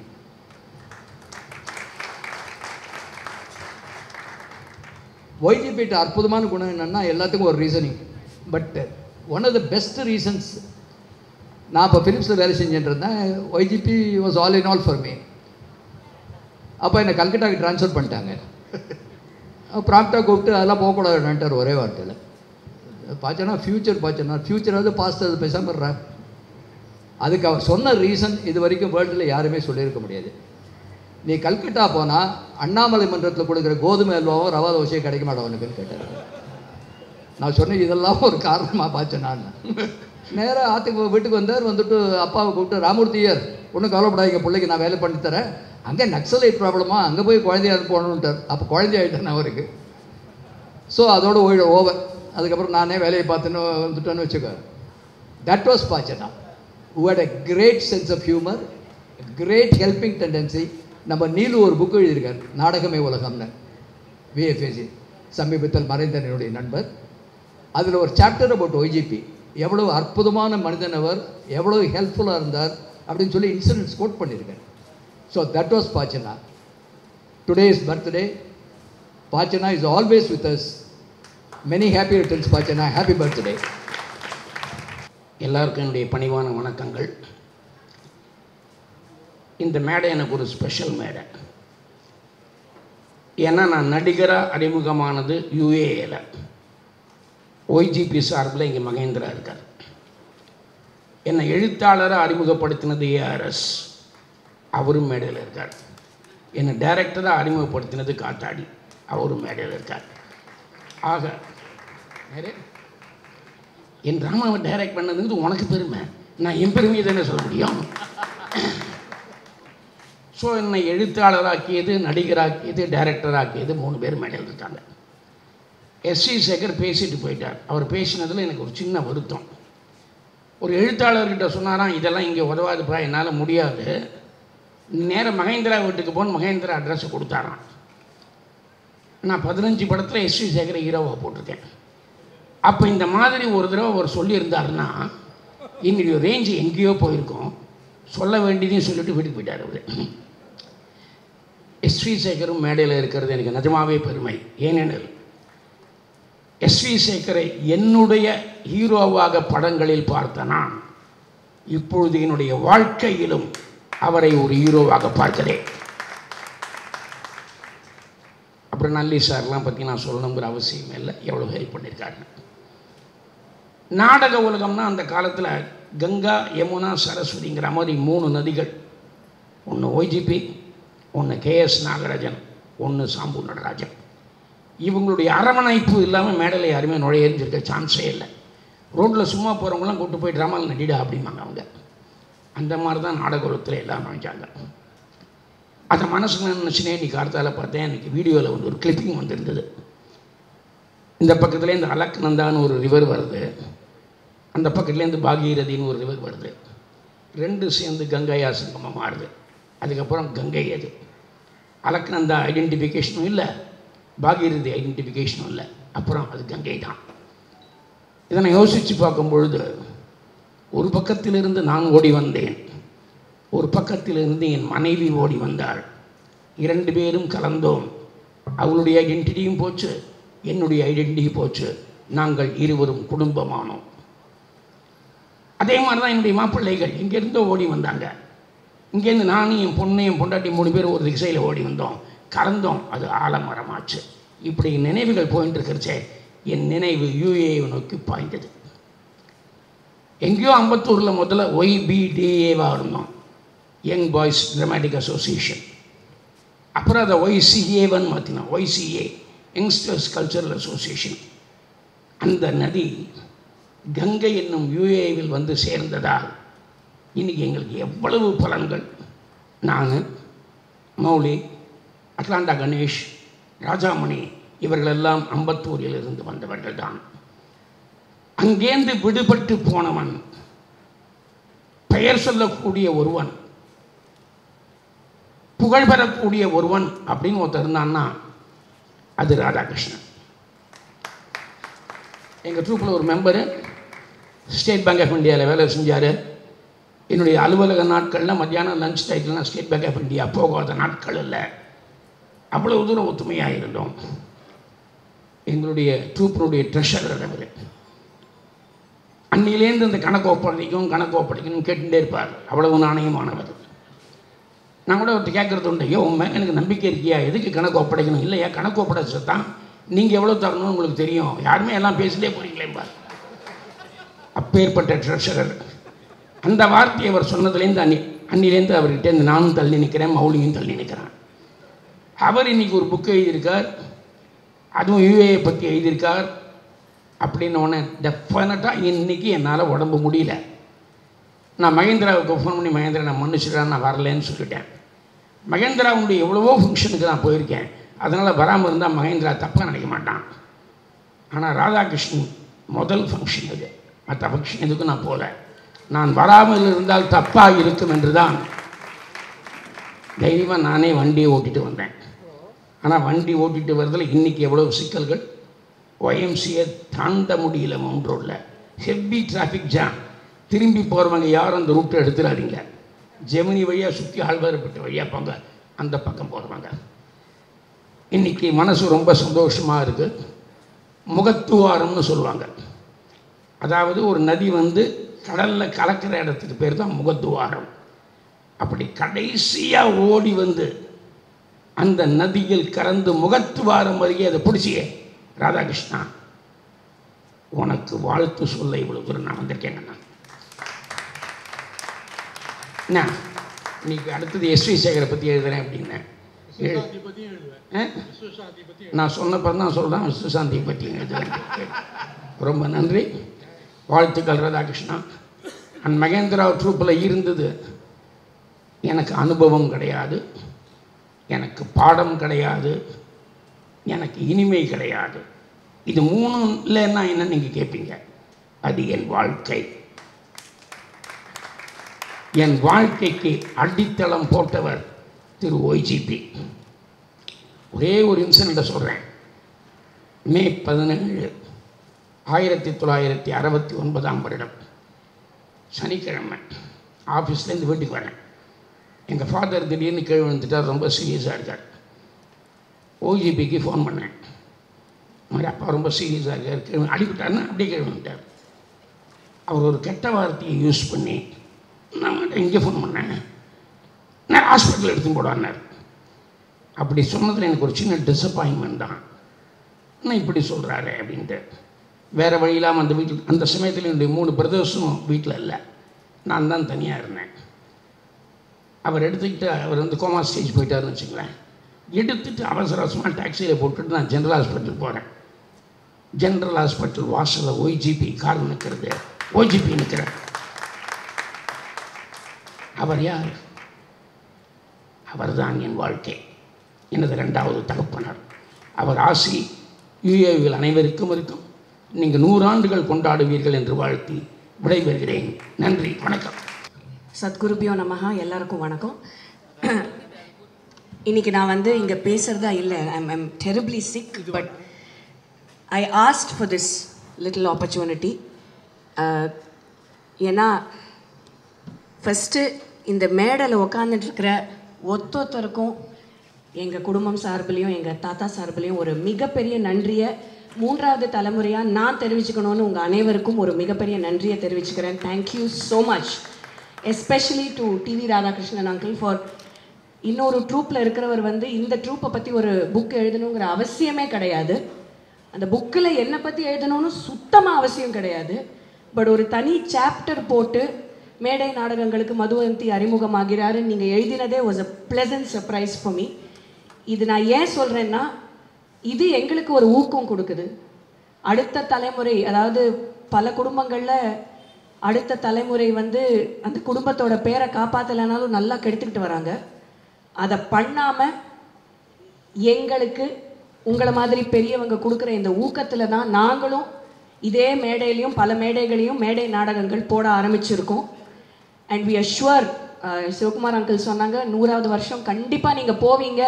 ஏன்னா உன் பையனும் இதில் வந்துடுவான் அப்படின்னாரு. இன்னைக்கும் சிவகுமார் அங்கிள் வந்து சூர்யாக்கும் கார்த்திக்கும் தம்பி மாதிரி தான் இருக்காரு பார்க்க. அண்ட் எங்கள் அப்பா எனக்கு ஒரு அண்ணன் மாதிரி இருக்காருன்னு தைரியமாக சொல்லிக்கிறேன். அண்ட் uh, நான் ஏன் இந்த மேடைக்கு வந்து இந்த பதிவு செய்யணும்னு ஆசைப்பட்டேன்னா இங்கே எனக்கு எவ்வளோ பெரிய இன்ஸ்பிரேஷன்னா மாது பாலாஜி அங்கிள் வந்திருக்காங்க. மாது பாலாஜி அங்கிள் எல்லா மேடையிலையும் சொல்கிற ஒரு வார்த்தை நான் நலந்தானால சுண்டுன்னு மகேந்திரா பண்ண கேரக்டரை பார்த்து தான் எனக்கு பவரே கிடையாது ஆனால் நான் கண்ணாடி போட்டுப்பேன். இன்றைக்கும் பாருங்கள் அவர் கண்ணாடி போட்டுட்டு தான் வந்திருக்காரு ஆனால் அவருக்கு ஆக்சுவலாக பவர் கிடையாது. He wears those glasses because of my father எங்கள் அப்பா பவர் இருக்குது டையெல்லாம் அடிச்சுப்பாரு நம்பாதீங்க பயங்கர ஃப்ராடு ஆனால் the main reason why I actually came on stages Madhu Balaji uncle வந்து நாற்பது வருஷம் கிரேசி கிரியேஷன்ஸ் இப்போ கொண்டாடிக்கிட்டு இருக்காங்க. Please give them also begin இது வந்து this is these are all things that everybody needs to know Nataka Priya is celebrating forty six years UAA is continuing for sixty six plus years Crazy Creations is celebrating forty years எங்களை மாதிரி அடுத்த தலைமுறைக்கு இதெல்லாம் தான் encouragement சத்தியமாக எங்கள் அப்பா என்னை கூப்பிட்டு அம்மா இது பாரும்மா எனக்கு அப்புறம் நீ தான் மேடை நாடகத்தை எடுத்து நடத்தணும்லாம் சொல்லவே இல்லைங்க. ஆனால் இந்த பைத்தியம் எனக்கு பிடிச்சதுக்கு காரணம் என்னன்னா அவரு அந்த மேடைக்காக உழைச்சிருக்கிற உழைப்பு அந்த மேடைக்காக அவர் வாழற வாழ்க்கையை நான் பார்த்து அடேங்கப்பா சினிமாவில் இவ்வளோ பிஸியாக இருந்த ஒரு மனுஷன் வாழ்க்கையில் எத்தனையோ விஷயங்களை இழந்து இந்த நாடகத்தை இன்னும் கட்டி காட்டுக்கிட்டு இன்னும் அவர் நடிச்சுக்கிட்டு இருக்காருன்னா அப்போ there must be some magic to the stage அந்த மேஜிக் என்னன்னு நம்ம எக்ஸ்பீரியன்ஸ் பண்ணுவோமே தான் நான் இந்த மேடையை ஏறினேன்.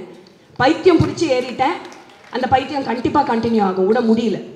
இப்போவும் நான் அந்த வாணி ராணி சீரியல் ஷூட்டிங்க்கு போனேன்னு அவங்களே சொல்லிடுறாங்க. மேடம் சனி ஞாயிறு கூப்பிட மாட்டேன் மேடம். ட்ராமா இருக்குன்னு தெரியும். அப்படின்னு சொல்கிற அளவுக்கு நான் ஒரு டெரர் கிரியேட் பண்ணி வச்சுருக்கேன். தேங்க்ஸ் டு ஹிம் ஏன் இன்னைக்கு நான் இந்த இங்கே ஒரு முக்கியமான பதிவை நான் செய்யணும்னு ஆசைப்படுறேன்னா நீங்கள்லாம் வந்து நாடகத்தை ரசித்து நாடகத்தை சப்போர்ட் பண்ணுற ஒரு ஆடியன்ஸ் ஆனால் ஒரே ஒரு வேதனை தான். இங்கே நான் பார்க்குறவங்க அத்தனை பேரும் நிறைய நிறைச்ச முடி தான் நான் பார்க்குறேன். உங்கள் பசங்க உங்கள் பேர பசங்கள் நான் இங்கே பார்க்கல. தயவு செய்து மேடை நாடகங்களுக்கு உங்கள் குழந்தைங்களையும் பேர குழந்தைங்களையும் தயவு செய்து கூட்டிக்கிட்டு வாங்க. அடுத்த தலைமுறை மேடை ஏறினா மட்டும் பத்தாது அடுத்த தலைமுறை அங்கே உட்காந்து பார்க்கணும். அப்போதான் இது வளரும். I request you all to please bring youngsters not just for movies and to malls but to theatre this is live art form இங்கே கிடைக்கிற அந்த எக்ஸ்பீரியன்ஸ் வேற எங்கேயுமே கிடைக்காது. நேற்றுக்கு நாங்கள் சத்யபாமா காலேஜில் போய் எங்களை விட ஒரு இருபது வருஷம் சின்ன வயசில் இருக்கிற பசங்களுக்கு எங்களுடைய லேட்டஸ்ட் ட்ராமா கோச்சுக்காதம்மா போட்டோம். அவங்களுக்கெல்லாம் ஃபர்ஸ்ட் டைம் ஒரு மேடை நாடகம் பார்க்குறாங்க. அவங்க ரசித்த அந்த ரசிப்பு எங்களுக்கு அவ்வளோ பெரிய எனர்ஜி எனக்கு அவ்வளோ சைனஸ் நேற்றுக்கு பட் அது எல்லாமே மறந்து நேற்றுக்கு நான் நடித்தேன்னா அதுக்கு அந்த ரசனை அந்த பசங்க கொடுத்த அந்த ஊக்கம் தான் காரணம். ஸோ யங்ஸ்டர்ஸ் அப்ரிஷியேட் பண்ணுவாங்க. பண்ண மாட்டாங்க. மேடை நாடகம் நலிஞ்சிருச்சு. இந்த மாதிரி வார்த்தைகளை தயவு செய்து நான் இன்டர்நெட்லேயும் சரி எல்லாத்துலேயும் சரி இனிமேல் இதெல்லாம் யூஸ் பண்ணாதீங்க. அடுத்த தலைமுறை வருது இதுக்கு அடுத்த தலைமுறைகளும் வர ஆரம்பிக்கும். எங்களுக்கு அப்புறமும் வந்துக்கிட்டே இருப்பாங்க. நாடகத்துக்கு என்றைக்குமே அழிவு கிடையாது. அதை நான் இங்கே முக்கியமாக பதிவு செய்யணும்னு ஆசைப்படுறேன். இன்னொரு ரொம்ப முக்கியமான விஷயம். நீங்கள் வந்து அங்கிள் பல நாடகங்களில் அதே மாது வேஷம் போட்டுக்கிட்டு வரீங்க. நாற்பது வருஷமா யூ பின் மாது. பட் நீங்கள் மாதுவாக கூகுள் கட்டோத்கஜன் சாக்லேட் கிருஷ்ணா மீசையானாலும் மனைவி மேரேஜ் மேட் இன் சலூன் இந்த மாதிரி பல நாடகங்கள் வேறு வேறு நாடகங்களில் நீங்கள் மாதுவாக நடிச்சுக்கிட்டு வரீங்க. ஒரு மனுஷன் காலேஜ் ஸ்டூடெண்ட்டாக நைன்டீன் செவன்ட்டி ஃபைவ்ல கல்யாணம் ஆன வருஷம் so that that play is two years older to me it's my elder brother ரகசியம் பரம ரகசியம் நைன்டீன் செவன்ட்டி ஃபைவ்ல he started doing the role of Mahesh, the college student. Today, 43 years, 2018, he has gone to Australia and New Zealand, done the same role as Mahesh. No, no, this deserves a bigger applause, please. I'm not going to take this lightly. 2018, he has done the same role as Mahesh. And when he stands on stage and says, geography, botany, out of pity, people still clap. And you, I, as a daughter, my son as a grandson, மற்ற டைம்லலாம் அவரை பார்க்கச்ச தாத்தா அப்பான்னு தோணுது but அந்த மகேஷா பார்க்கும்போது எங்களுக்கு அந்த காலேஜ் ஸ்டூடெண்ட் மட்டும்தான் கண்ணுக்கு தெரியறான் கண்ணுக்கு தெரியறான்னே சொல்கிறேன் தைரியமா. இது ஒரு ஹிஸ்டாரிக் பதிவு. ஏன்னா பிராட்வேல கூட மவுஸ் ட்ராப் அப்படிங்கிற பிளே லண்டனில் sixty years they celebrated Les Miserables இருபத்தஞ்சு வருஷம் கொண்டாடினாங்க. லைன் கிங் ஃபிஃப்டீன்த் இயர் ஓடிக்கிட்டு இருக்கு. பல நாடகங்களை கொண்டாடுறாங்க. பிராட்வேலையும் லன் வெஸ்ட் எண்ட்லேயும் லண்டனில் இங்கே நியூயார்க்கில் பட் அங்கே எல்லாமே பதினஞ்சு வருஷமா நாடகம் ஓடிட்டு இருக்கு. ஆனால் அதே காஸ்ட் அந்த நாடகத்தை நடிக்கிறது கிடையாது. ஐ திங்க் இது ஒரு பெரிய செலிப்ரேஷனாக எடுத்து நான் கண்டிப்பாக பண்ண போகிறேன் எங்கள் அப்பாவுக்கு அவர் அவங்க அப்பாவுக்கு பண்ணிட்டார் இது என்னுடைய duty as a daughter I am going to do this call top theatre people from all over the country if possible somebody from Broadway I think if YGP could go to television in nineteen seventy five and do a skit third gen I think I can take this a little international I want to celebrate the fact that this man, come forward, has been doing the same role of Mahesh for 43 years continuously and has convinced the entire world to believe that he can pull that role off. I think this is a historic achievement in the field of world theatre. I don't know anywhere else where actors have continuously performed the same role for 43 years. So Tamil நாடகத்தை லேஸில் எடுத்துக்காதீங்க பல rockets இருக்கு இந்த நாடகத்தில் இந்த இந்த இண்டஸ்ட்ரியில் we call this an industry. It's not just something that we come and do சும்மா ஃபார் த வீக்கெண்ட் அண்ட் தயவு செய்து மேடை நாடகங்களுக்கு நீங்கள் வரும்போது இப்போ அப்பா ட்ராமாக்கு மோகன் அங்கிள் ட்ராமாக்கு சேகர் அங்கிள் ட்ராமாக்கு இப்போ ஓரளவுக்கு எங்கள் நாடகங்களுக்கு இங்கே இருக்கிறவங்க அத்தனை பேர் நாடகங்களுக்கும் நீங்கள் டிக்கெட் வாங்கிக்கிட்டு வரீங்க. பட் எத்தனையோ நாடக குழுக்கள் நாடகம் போட்டுட்ருக்காங்க.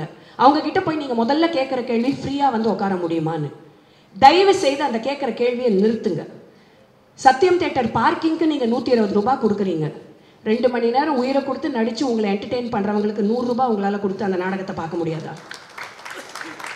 Please support Tamil theatre encourage Tamil theatre theatre. And I'm as as long as Ritwik's great grandchildren are around, this family will be only doing this thing on this YGP auditorium in Bharat Kalachar. October ரெண்டாம் தேதி நாங்கள் இங்கே கோச்சிக்காதமா போடுறோம். அப்பா வாணி மஹாலில் three G போடுறாரு. That is how this family performs and we are proud to say that once again thank you to all of you எல்லாரும் ஏன் பேச விட்டேன்னா அவங்க தான் இந்த யூஏவுக்கு சம்மந்தப்பட்ட விழுதுகள் அவங்க தான் இந்த யூஏவுடைய குழந்தைங்க தான். நான் ஆக்சுவலாக வழி போக்குற மாதிரி தான். சும்மா ஒரு சும்மா கலர்ஃபுல்லாக ஒரு ஆள் சட்டை கட்ட போட்டு வரானுக்கு நான் கூப்பிட்டுக்கான்னு நினைக்கிறேன். பட்டு நான் சென்னை வந்தது நடிகனாகவோ நாடக நடிகனாகவோ அப்படி எந்த அளவுக்கு வரல. நான் சென்னை வந்தது ஒரு ஓவியனானுக்காக தான் சென்னை வந்தேன்.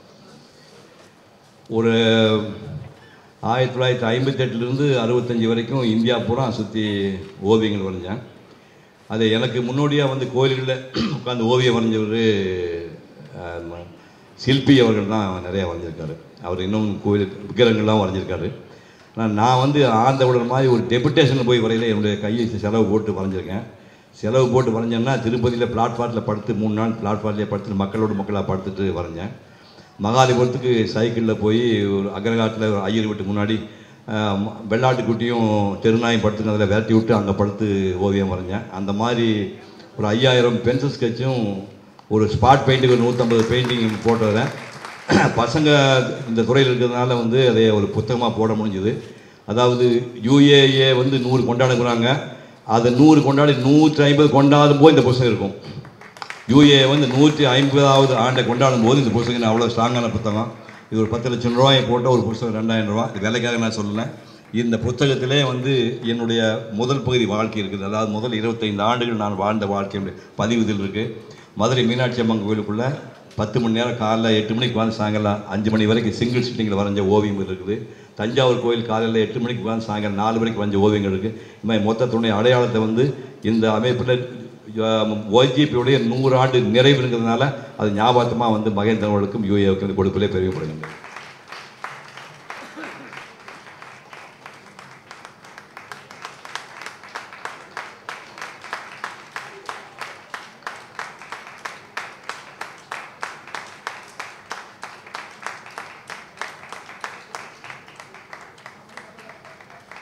முதல்ல டிவி ராதாகிருஷ்ணன் முதல் புத்தகம்னு விஷயம் சொல்லாரு ரொம்ப பெருமையாக இருக்குது. அது யாரோ இன்னொரு ட்ரூப்புடைய இப்போ வரலாறை வந்து ரொம்ப உரி உரி எழுதுறதுக்கு முதல்ல ராதாகிருஷ்ணனுக்கு நான் பாராட்டுகள் தெரிவிச்சுக்கிறேன். அதை நூறு உடையமாக கொடுத்த வானதிக்கு பாராட்டு தெரிவிச்சுக்கிறேன்.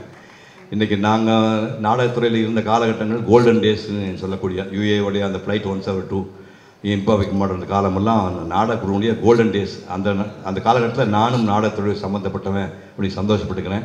இன்றைக்கி நூற்றி இருபத்தஞ்சி சபாலாம் போய் சபா ரெண்டு மூணு ஒன்றா சேர்த்தா கூட கூட்டம் வர மாட்டேங்குது. அந்த மாதிரி நேரத்தில் ஈரில் செய்யும் நாடகம் என்று மூன்று பிரிவிலே கலை நிகழ்ச்சி நடந்தாலும் அதுக்கு காட்ஃபாதராக இருக்கிற ஒரே ஒரு நல்லி செட்டியார் அவருக்கு நான் முதல்ல எனக்கு மனப்பூர்வமான நன்றியை வாழ்த்துக்களையும் தெரிவித்துக் கொள்வேன் அப்புறம் மதுவந்தி சொன்னதில் ரொம்ப பிடிச்ச விஷயம் எல்லாமே வெள்ள முடியோடு இருக்கீங்க. நான் கூட வெள்ள முடிந்து சாயம் முடிச்சிருந்துக்கு அந்த விஷயம் வேறு.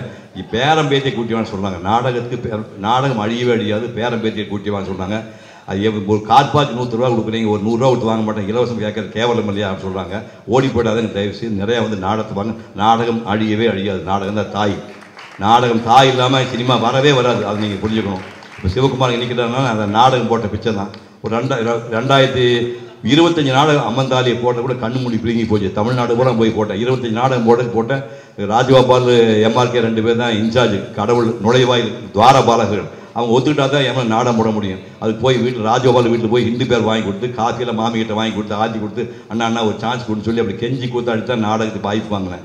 அது ஒரு ஒரு நாடகம் போடுறதுக்கு ரெண்டு இரு- ஐம்பது நாடகம் போடுறதுக்கு ரெண்டரை வருஷம் ஆகிப்போச்சு தமிழ்நாடு பூரா போய் போட வேண்டி வந்துச்சு. அதுக்கு குங்கும சேவல் நாடகம் போட்டால் அதே அதிகமாக கஷ்டப்பட்டேன். அப்போ நம்ம சர்க்கஸ் கம்பெனி நடத்த பூரா நமக்கு எதுக்கு நாடகம்னு சொல்லிட்டு சுந்தராஜன் போய் சொன்னேன். அவன் சொன்னான் சுந்தராஜ் சொன்னால் நீ வந்து வைரமாக இருக்கலாம் வைரம் தன்னைத்தானே பட்டத்தை அடிக்க முடியாது. நீ என் கூட சேர்ந்துக்கடா அப்படின்னு சொன்னான். அப்போ ஆயிரத்தி தொள்ளாயிரத்தி எழுபது சுந்தராஜன் கூட சேர்ந்து நம்ப மாட்டேங்க. அந்த காலகட்டத்திலே மு மூணு மாதத்தில் நூறு நாடகம் போட்டோம். அதெல்லாம் இவர் இவர் பார்த்துக்காரு செட்டியார் பார்த்துக்காரு. நூறு நாடகம் மூணு நாள் சனி ஞாயிறு ஃப்ரெண்ட் கல்ச்சர் ரெண்டு பிள்ளை போடுவாங்க. மேட்னி ஷோடு நைட் ஷோடு போடுவாங்க. அந்த மாதிரி நான் போட்ட காலகட்டங்களில் நான் இருந்தேன்.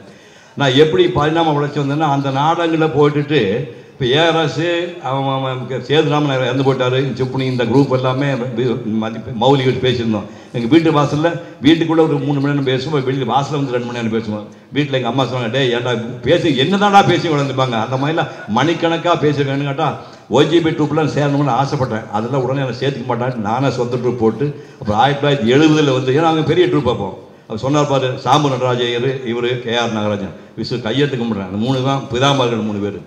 நான் கேஆர் நாகராஜன் போக முடியல. எனக்கு சாம்பு நடராஜர் நாடா நாடக கொடுக்கல அவருக்கு மேஜர் தான் ஆளு நாள். அவர் பேருக்கு அவருக்கு தவிர அவர் ட்ரூபரை சேர்ந்து கிட்டத்தட்ட எண்ணூற்றம்பது தொள்ளாயிரம் நாடகம் இந்தியா பூரா கல்கட்டா தவிர பாக்கி எல்லா ஊரில் நாடகம் போட்டேன். எனக்கு என்ன ப்ராப்ளம்னா ரிகர்சல் வந்து பிக் சீட்டில் அவர் வீட்டு மாடியில் நடக்கும். ஒவ்வொரு ரிகர்சலுக்கு பாஞ்சு நாள் போக முடியாததுனால நான் என்ன பண்ணுவேன்னா மனப்படம் பண்ணுவேன் மொத்த ஸ்கிரிப்டை வாங்கி மனப்படம் பண்ணுவேன் மொத்த ஸ்கிரிப்டையும் மனப்பாடம் பண்ணி இந்த மனப்பாடம் பண்ண அப்பாவே முன்னா மனப்பாடம் பண்ண டெல்லி மாமியார் ஃபுல்லாக மனப்பாடம் பண்ணேன் டைகர் தாத்தாச்சி ஃபுல்லாக மனப்பாடம் பண்ண அப்பாவி ஃபுல்லாக ஃபுல் ஸ்கிரிப்ட் ரிகர்சல் ப்ராப்ளம் இல்லையே.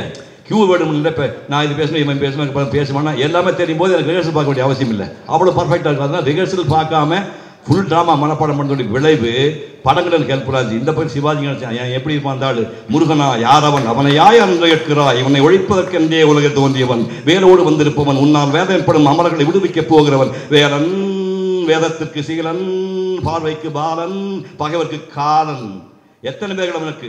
கந்தன் என்பார் கடம்பன் என்பார் கார்த்திகேயன் என்பார் குகன் என்பார் சண்முகன் என்பார் அருமுகன் என்பார் உன்னையும் வதைத்த வின் சூரனையும் வதைத்த சூரன் என்பார். இப்படி மிரட்டிட்டு இருக்கான். அந்த ஆள் நடிக்கணும்னா இப்போ போனோம்னா அர்ஜென்ட்டாக டாய்லெட் போகிற மாதிரி தோணி ஒரு ஃபீலிங் வரும். எப்போ போனாலும் போ போயிட்டு வரும் இன்னும் டாய்லெட் போகணும் தோணும் அப்படி ஒரு நெருப்புமை ஆள் ஆள். அவர் நடிக்கிறார் இந்த பக்கம் மேஜர் சுந்தரராஜன் அந்த பக்கம் வாணிஸ்ரீ இந்த பக்கம் Sowcar Janaki V K Ramasamy sir. இவங்கள சமாளிக்கணும்னா நாம தெளிவாக இருக்கணும்னு இரநூத்தி போய் பைகாட் பண்ணிட்டு போகும்போது கம்பீரமாக போவேன். எங்கே கேட்டாலும் நடி எங்கே இந்த பட்டன் தட்டினால் வரும். அந்த மாதிரி ரெடி பண்ணிட்டு தான் நான் போனேன். அதே மாதிரி தாய உனக்கான படம் எடுத்தார் கண்ணதாசன் எடுத்தார். அந்த படத்தில் வந்து நீங்க கற்பனை பண்ணி பாருங்க. ஒராவது ராபின்வுட் சைக்கிள் இருநூத்தம்பது ரூபாய் சைக்கிள் வச்சுக்கிற ஒரு பையன். வேற ப்ராப்பர்ட்டி கிடையாது. அது வேலை வீடு தெரியும். மூணு பேர் சேர்ந்து ரெண்டு வக்கீல் நான் சேர்ந்து ஆளுக்கு முப்பத்தஞ்சு பேர் வாடகை இப்போ கரண்ட் பில்லு நூற்றி எழுபது ஒன்று இருபத்தஞ்சு ரூபா பிரித்து கொடுத்துருந்தோம் அந்த நேரத்தில் ஒரு பையன் இப்போ ஒரு நாடகங்களுக்கு போய் போய் நீங்கள் நம்ப மாட்டீங்க. சிவாஜி கணேசன் வந்து இம்பால கார் வச்சிருக்காரு. எங்கிட்ட இருக்கிறது இந்த இந்த சைக்கிள். முதல் நாள் ஷூட்டிங் வந்து ஆதிசேஷம் ஆதிசேஷன் செட்டு போட்டாங்க. இந்த ஃப்ளோரோட பெருசாக செட்டு போட்டு தலை கீழே நான் நின்றுட்டு இருக்கேன். அந்த பக்கத்தில் வந்து நாரதன் வேஷம் சிவாஜி. தேவியா வந்து முதலாளி படத்தில் ஹீரோயின் அப்புறம் எஸ்எஸ்சி படிக்கிற ஞாபகம் வச்சுக்கோங்க. எஸ்எஸ்எல்சி படிக்கும் போது முதலாளி ஹீரோயின் அந்த அம்மா ஏழு வருஷம் கழிச்சு எனக்கு ஜோடியாக நடிக்கிறாங்க. நிலைமை அக்கா என்னை பார்த்தோன்னே நம்ம அந்த மாதிரி நம்ம குறும்பு ஜாஸ்தி பண்ணுவோம். என்னை பார்த்துட்டு இப்போ இவன் தான் என் ஜோடியாங்குது ஏன் பாதி மகாவிஷ்ணு நடிக்கிறேன். மகாலட்சுமி ஏன் இவன் தான் என் ஜோடியான்னு கேட்குது இப்படிலாம் துன்பத்தை அனுபவிச்ச அவர் கேசவா நாராயண மாதவா கோவிந்தா மதுசூதனா திருவக்கிரம வாமன ஸ்ரீதர ரிஷி கேச தாமோதர பத்மநாபா நந்தநந்த நான் பொற்பாத கவனம் அடியன் வணக்கம்னு இந்த கிரேட் இம்பாலா காரு இந்த ராபின் சைக்கிள் எம் சைக்கிள் கும்பிடுது கும்பிடு போடுது. இப்படி எல்லாம் பண்ணுறதுக்கு காரணம் வந்து அந்த நாடகத்தை மொத்தமாக பைகாட் பண்ணதுன்னா படங்களில் நடிக்கும்போது அவ்வளோ பெரிய ஸ்டால் பாஷோட நடிக்கிறதுக்கு தாய் உனக்காக Sivaji Padmini SSR Vijayakumari Nagesh Manorama V K Ramasamy Muthurama Devika Major Sundararajan C K Saraswathi என்னத்த கண்ணையா விஜயகுமாரி ஜெயலலிதா கெஸ்ரோ டான்ஸ் எம்ஜிஆர் தான் பாக்கி எல்லாம் இருக்காங்கப்பா. ஆனால் அப்படி சந்தோஷப்பட்டுக்காதீங்க. போய் தே- கிருஷ்ண தேட்டரில் படம் ரிலீஸ் ஆச்சு. நான் தான் ஹீரோ பாக்கி எல்லாரும் நினச்சிருக்காங்க அவன் விளம்பரத்துக்கு என்ன பண்ணிட்டாங்க? மொத்த தேட்டரில் சிவாஜி பத்மினி இருக்குது எஸ்எஸ்ஆர் விஜயமா இருக்குது முத்துராம தேவியா இருக்குது விகேஆர் இருக்குது நாகேஷ் எல்லாம் இருக்குது. நான் தான் ஹீரோ தலையை காணும். தலையை வந்து இந்த பாருங்க இதான் இந்த இந்த சைஸ் ஒரு ஓரத்தில் இருந்துட்டு போட்டு பரவாயில்ல சொல்லிட்டு அந்த ஓரத்தில் சேர் சைஸ் வச்சுருக்காங்க. அப்போ தான் நம்ம என்ன போக வேண்டியதோட ஜாஸ்தி இருக்குன்னு அப்படி ஃபீல் பண்ணேன். இதெல்லாம் தாண்டி ஒரு நூற்றி எழுபது படத்தில் ஹீரோவாகும் நூற்றி தொண்ணூற்றி ரெண்டு படத்தில் முடிச்சுட்டு வந்தேன். இப்போ நம்ம விஷயத்துக்கு வந்துடுவோம் ஓஜிபி வந்து அப்படி பேசாமல் டெல்லியிலே இருந்தாங்கன்னா இந்த யூஏவே இருந்திருக்காது. அப்போ டெல்லியில் டிரான்ஸ்ஃபர் ஆகி மெட்ராஸ்லாம் யூஏன்னு இந்த இந்த மேலைக்கு வேலையே கிடையாது. அந்த மனுஷனுக்கு இந்த கலைத்துறை மேலே இந்த ஒரு ஆர்வம் வெறி அதுதான் அவர் இங்கே கொண்டு வரதுக்கு காரணமாக இருந்தது. அதனால தான் நமக்கு ஒரு பிவி பை ராமன் கிடைச்சாரு. ஒரு பட்டு கிடைச்சாரு. ஒரு விசு இருக்காரு. வெங்கட் கிடைச்சாரு. வியட்நாம் வியட்நாமோட சுந்தரம். இத்தனாயிரம் ரைட்டர்ஸ் ஆர்டி கிருஷ்ணசாமி இத்தனை பேர் ஒரு நாடகத்தை நடிக்கிறதுக்கு இந்த இடம் வந்து பிளாட்ஃபார்ம் போட்டு கொடுத்தது இந்த முதல் நாடகம் வந்து ஒரு நாடகம் தான் போட்டாங்களா? ரெண்டாவது நாடகம் வந்து மூணு போட்டாங்களா? மூணாவது நாடகம் பன்னெண்டு போட்டாங்களா? நாலாவது நாடகம் நாற்பத்தெட்டு போட்டாமா? அஞ்சாவது நாடகம் ஐம்பத்தி மூணு போட்டாமா? ஆறாவது நாடகம் அறுபத்தி எட்டு போட்டாங்களா?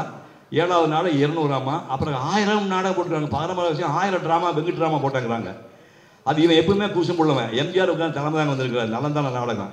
காற்று வாங்க போனேன்னு ஒரு கவிதை வாங்கி வந்தேன்னு ஒரு பாட்டு இருக்குது. எம்ஜிஆர் உட்காந்துருக்காரு என்ன திமிருக்கு நம்ம நினைச்சு பாருங்க. இந்த ஹீரோக்களுக்கு இதே பொழப்பா போச்சுப்பா. ஒன்றை வாங்கிட்டு வர போவான் இன்னொன்று வாங்கிட்டு வருவாங்க. காற்று வாங்க போன கவிதையை வாங்கி வந்து எம்ஜிஆர் கட்சி வச்சிருக்கிறாராம்மா இந்த என்ன தைரியம் நினச்சி பாருங்க. அந்த மாதிரி நான் போட்டிருக்கேன். மிஸ்ஸஸ் ஓஜிபி வந்து பாவம் பலராமன் நாடகத்தை வந்து முப்பத்தி ஏழு ஆண் வேஷம் போட்டுருக்காங்கம்மா. என் ஃபேமிலி என்ன ஃபேமிலி அது? இதை இதை உட்காந்துருக்கா சுதா வந்து ஃப்ளைட் நம்பர் ஒன் டெஸ்ட் வேடிக்கை பார்க்க வந்த பொண்ணு எதுக்கு? எனக்கு சவுட் இருக்குது. நாடகம் பார்க்க வந்து இவனை சைட் அடிக்க வச்சா டவுட் இருக்கு எனக்கு. சைட் அடித்து அது அப்படியே ஒரு லெவலுக்கு போய் அப்புறம் கல்யாணம் பண்ணி அதுவே பிஎட் முடிச்சு எம்எட் முடிச்சு அது ஸ்கூலுக்கு இன்சார்ஜாக இருக்குது. அது குடும்பமே நீ கற்பனை முடியாது. பட்டங்கள் ஆடுவதும் சட்டங்கள் செய்வதும் பாரினில் பெண்கள் நடத்த வந்தோம் ஏட்டையும் பெண்கள் தொழுவது தீமை என்று எண்ணியிருந்தவர் மாய்ந்து விட்டார். வீட்டுக்குள்ளே பெண்ணை பூட்டி வைப்போம் என்ற வெந்தை மனித தகல் தலைகண்டான்னு ஆயிரத்தி தொள்ளாயிரத்தி இருபத்தொன்னு சேர்த்து போன பாரதி எப்போ எழுதி போயிட்டான்? அதை இந்த மனுஷன் அப்பவே புரிஞ்சுக்கிட்டு சமையல் கட்டுக்கு போகாதே. இன்று வரை ராஜம்மா சமையல் கிட்ட போகவே இன்று வரை சமையல் கட்டமா போகிறேன் என்ன தைரியம் பண்ணி சார். சமையல் பண்ணி போக வேண்டாம். ஸ்கூல் நடத்து சோஷியல் சர்வீஸ் பண்ணு அப்படி சொல்லி அனுப்பி பண்ணியிருக்காங்க. அதுக்கப்புறம் அந்த அம்மா வந்து ராஷ்மிங்கிற பேரில் ஹிந்துவில் ஹிந்து படத்துக்கு ரிவ்யூ பண்ணாங்க. நான் இங்கே உண்மையை சொல்கிறேன் அந்த அம்மா வச்சுட்டு சொன்ன சொன்னேன். அந்த அம்மாவை நான் இல்லை. இந்த நீ சொல்லிடு அம்மா சொல்லிடு. நான் சத்தியார நூற்றி தொண்ணூறு எழுபது படத்தில் ஹீரோவை பண்ணேன். நூற்றி எழுபது படத்தில் தெளிவாக பண்ணேன். ஒரு படத்தில் கூட ராஷ்மி வந்து இந்த பையன் தேருவான் என்று எழுதவே இல்லை. ஞாபகம் வச்சுக்கணும். சிரிக்காத சுதா சிரிக்காத. கடுப்புல இருக்கு நான். நூற்றி எழுபது படம் ஹீரோ பண்ண ஒன்றில் கூட இவன் தேருவான் என்று அந்த அம்மா எழுதவே இல்லை. எங்கே அந்த அம்மாவை வெந்தேன் தெரியுமா? எங்கே வந்தேன் தெரியுமா? நாற்பது வருஷம் நடித்தேன் குப்பை ஓட்டுன போது நாடு நடிச்ச போய் இதை தூக்கி வச்சுட்டு ரெண்டாயிரத்தி அஞ்சில் எவனோ எழுதி கொடுத்த டைலாக்ல வேண்டாம். நாமே டைலாக் நானே உட்காந்து ராமாயண மகாபாரதம் ரெடி பண்ணி எழுதிட்டு பண்ண உடனே முத முதல்ல வந்து பாரதிய வித்யா பவனில் இந்த அம்மா வீல் சேர் வந்திருக்காங்க. ஸ்க்ரீனில் படம் ஓடிட்டு இருக்குது. என்னது என்ன? சிவகுமார் பேசுகிற ராமாயணம்னா? கூப்பிட்றாங்க டேய் அது ஓஷன்ரா அட்லாண்டிக் ஓஷன்ரா எப்படிடா உள்ள போனாலும் தெரியாதுண்ணே உன் யாரும் தமிழ் வாத்தியில் தெரியாதுண்ணே நீயே கத்துல தெரியாது அடா பாதி இல்லை இப்படி பேசியிருக்கேன் காது சொல்லைங்க இருக்குது பாதி வரைக்கும் பார்த்துட்டேன். மித்த டிவிடி கூட வீட்டில் பார்க்குறேன்னு சொல்லி டிவிடி வாங்கி ஐம்பது டிவிடி வந்து இந்த சே- பத்மஷா ஸ்கூலுக்கு நான் கொடுத்துருப்பேன். அதை பார்த்து சொன்னாங்க நீ நவீன கம்பன் அப்படின்னு அந்த அம்மா சொன்னாங்க. அதை முடிச்சுட்டு அதுக்கப்புறம் இது இது ரெண்டாயிரத்தி ஒம்பது இப்போ வந்து ரெண்டாயிரத்தி பதினஞ்சில் நாலு வருஷம் ஆராய்ச்சி பண்ணி நாலு வருஷம் ஆராய்ச்சி பண்ணி பிஆர் சோப்ரா வந்து ஒரு வருஷம் பத்து மாதம் டெலிகாஸ்ட் பண்ணியிருக்கான். மகாபாரத் நீங்களே பார்த்துருப்பேன் மகாபாரத சண்டே சண்டே ஒரு வருஷம் பத்து மாதம் டெலிகாஸ்ட் பண்ணியிருக்கான். அந்த எழுபது மணி நேரம் ஃபுட்டேஜை வாங்கி அதை டப் பண்ணதை வாங்கி ஒவ்வொரு காட்சியும் என்ன சொல்லுகிறான் என்று இந்த கையில் எழுதுனேன். ஆய் ரெண்டாயிரத்தி ஐநூறு பக்கம் வந்துச்சு. அதுக்கப்புறம் சோசார் மகாபாரத் பேசுகிறது ரெண்டு புத்தகம் போட்டுருக்காரு. அது வந்து மொத்தமாக ஆயிரத்தி நானூற்றி பக்கம். அதுலேருந்து எக்ஸ்ட்ராக்ட் எடுத்து அது வெறும் வியாசர் தான் இருக்கும். அது எக்ஸ்ட்ராக்ட் எடுத்து அது தனியாக வந்து ஒரு ஆயிரத்தி ஐநூறு பக்கம். இளம்பரை மணிமான ஒரு லேடி தீர்த்துக்குடிக்காரம்மா. அந்த மாதிரி இருபத்தஞ்சு மணி நேரம் மகாபாரத் இருபத்தஞ்சு மணி நேரம் பேசியிருக்காங்க. வில்லிபுத்தரோட சேர்த்து. அதை எடுத்த மொத்தமாக ஒரு ஆறாயிரம் பக்கம். ஆறாயிரம் பக்கத்தை இப்போ அந்த சொட்டை தெரியுதாங்க? அந்த சொட்டை வந்து இதனால் வந்தது. வயசாக இல்லை இந்த சொட்டை வந்து மூணில் சூடாகி போய் அந்த ஆறாயிரம் பக்கத்தை ஒரு ரெண்டு மாதம் ஓய்வு கொடுத்து அப்புறம் அதுக்கப்புறம் அதை ஆறாயிரத்தி மூவாயிரம் ஆக்கி மூவாயிரத்து ஆயிரம் ஆக்கி ஆயிரத்தி எழுநூத்தம்பது ஆக்கி எழுநூத்தம்பது ஐநூறு பக்கம் ஆக்கி நாளை வந்து ஆறாயிரத்தி ஐநூறு பேர் முன்னாடி ஒரு சொட்டு தண்ணி கூட பேச முன்னாடி முந்தின நாள் என் மகள் பிருந்தாவுடைய ரூமில் கதர் சாய் தாழ் போட்டு என் கையால் அந்த ஆறாயிரம் பக்கத்தை முந்நூறு பக்கமாக சுருக்கிடுதேன் அதுதான் புஷம் போடுது. மாதவி போயிடுச்சுங்க. மாத ரங்கராஜனா அது தமிழில் டிரான்ஸ்லேட் இங்கிலீஷில் டிரான்ஸ்லேட் பண்ணாங்க. அதை பண்ணேன். இதெல்லாம் காரணம் என்னென்னா எங்கள் அப்பா வந்து நான் பிறந்தோன்னே செத்து போயிட்டார். அவருக்கு பின்னாடி போட்டோவில் வச்சு அழுவான்னு சொல்லிட்டு அவர் நான் பத்து மாதம் குழந்தை இருக்கும்போது அப்பா செத்து போயிட்டார். அவர் பண்ண ஒரே புண்ணியம் என்னென்னா திருப்புகழம் வந்து மொ- மொத்தை தரு பத்தை திருநகை அத்திக்கரை சத்திச்சரவண முத்துக்குறை வித்துக்குறை என போகும்னு இருநூத்தொம்பது பக்கத்தில் பழைய மலைக்கு ஒவ்வொரு கீர்த்திக்கும் போய் மனப்பாடமாக சொல்லிட்டு அப்புறம் சாமி கும்பிட்டு வருவார் அந்த ஆள். அவர் நான் பார்த்ததே கிடையாது. அவர் செருப்பா சிறப்பாக கருப்பான்னு தெரியாது. அந்த மனிதர் போட்ட பிச்சையாகத்தான் நான் பார்க்குறேன். நான் வந்து ராமாயணம் பேசும்போது எனக்கு அறுபத்தேழு வயசு. மகாபாரதம் பேசும்போது எனக்கு எழுபத்தஞ்சு வயசு. ஞாபகம் வச்சுக்கணும் எழுபத்தஞ்சு வயசு. எழுபத்தினா அம்மா பேர் மறந்துடும் அப்பா பேர் வந்து தாத்தா பாட்டி பேர் மறந்தா போகும். இது இந்த நாட்டை ஆண்டவர் நடிகர் நாடலாம் உலகத்தில் நிரூபித்த எம்ஜிஆர் எழுபத்தொரு வயசில் போயிட்டார். இவனுக்கு குருநாதர் எனக்கு குருநாதர் சிவாஜி கணேசன் எழுபத்தி ரெண்டு முடியும் போது போயிட்டார். நான் எழுபத்தஞ்சில் மகாபாரதம் படித்தேன். அந்த அடிப்படை காரணம் என்னென்னா நீ இந்த உடம்பை பேணுதல் அப்படிங்கிற விஷயம். இதெல்லாம் என்னுடைய ஏஜ் குரூப் நேராக இருக்கீங்க. உடம்பை இந்த உடம்பு வேறு ஆன்மா அறிவு வேறு. ஆன்மாவும் அறிவும் கண்ட சூக்கும் உடம்பு வேறு பிசிக்கல் பாடி வேறு. இந்த பிசிக்கல் பாடி விசுவுக்கு தெரியாத கஷ்டம் என்னன்னு சொல்லிட்டு இந்த நாக்கிலே காப்பி பட்டு அறுபது வருஷம் ஆகிறது. உங்களால் இருக்க முடியுமா? இன்னிலும் விட முடியுமா? நினச்சி பாருங்க. நினச்சி பாருங்க. இன்னிலும் விட முடியுமா காப்பியை அறுபது வருஷமாக நாக்கில் காப்பி பட்டு. யோகா வந்து ஆயிரத்தி தொள்ளாயிரத்தி ஐம்பத்தி ரெண்டு வாங்கி புஸ்தம் வாங்கி பாடினாம இன்னைக்கு யோகா பண்ணிட்டு இருக்கிறேன். இதெல்லாம் அந்த பயிற்சி போட்ட பிச்சையின் காரணமாக தான் இன்னைக்கு மேடம் நிற்க முடிஞ்சது. புரிந்தவனுக்கு ஏற்கனவே சொல்லிட்டாங்க இப்போ சொல்கிறேன் இது வந்து நூறு ஆண்டுகள் சத்தியமாக சத்தியமாக யூஏ கொண்டாடும் சத்தியமாக கொண்டாடு மதி வந்து பையன் இருக்கான அவன் வந்து கொண்டாடுவான். அந்த கொண்டாடும் போது இந்த புஸ்தகத்துக்கு இந்த மேலே காட்டுங்க நன்றி வணக்கம். இது ஒரு நிகழ்ச்சியான ஒரு நிகழ்வு. ஸோ இது வந்து மகேந்திரன் சார் தான் இந்த தமிழ் நாடக மேடை தயாரிப்பாளர் சங்கத்துக்கு வந்து ஒரு பிரசிடென்ட் ஸோ இதை வந்து நாங்கள் மீட்டிங்கில் டிஸ்கஸ் பண்ணும்போது நாங்களும் இதில் இன்வால்வ் ஆகிறோம் அப்படின்னு சொல்லி வாலண்டியராக இன்வால்வ் ஆகி அத்தனை பேரை இன்வைட் பண்ணி இங்கே இந்த நிகழ்ச்சிக்கு உங்களை எல்லாரையும் வர வச்சுருக்கோம் ஸோ இந்த நிகழ்ச்சிக்கு வந்த அனைவருக்கும் இந்த யுஏஏ மற்றும் பாரத் கலாச்சார் மற்றும் தமிழ் நாடக மேடை தயாரிப்பாளர் சங்கம் சார்பாக எங்களுடைய மனமார்ந்த நன்றியை இந்த நேரத்தில் தெரிவித்துக் கொள்கிறேன். குறிப்பாக திரு நல்லி செட்டியார் அவர்களுக்கும் திரு சிவகுமார் அவர்களுக்கும் மேடையில் அமர்ந்திருக்கும் அனைத்து ஜாம்பவான்களுக்கும் எங்களுடைய பணிவான நன்றியையும் வணக்கத்தையும் தெரிவித்துக் கொள்கிறேன். எங்களுடைய அழைப்பை ஏற்று ஃபேஸ்புக் இந்த மாதிரியில் கூட நாங்கள் வந்து இன்விடேஷன்ஸ் எல்லாம் ஷேர் பண்ணி அந்த அழைப்பை ஏற்று வந்த நாடக நண்பர்கள் மீடியா சப்போர்ட் எல்லாருக்கும் எங்களுடைய இந்த நன்றியை இந்த நேரத்தில் தெரிவித்துக் கொள்கிறேன். நன்றி. வணக்கம். தேங்க்யூ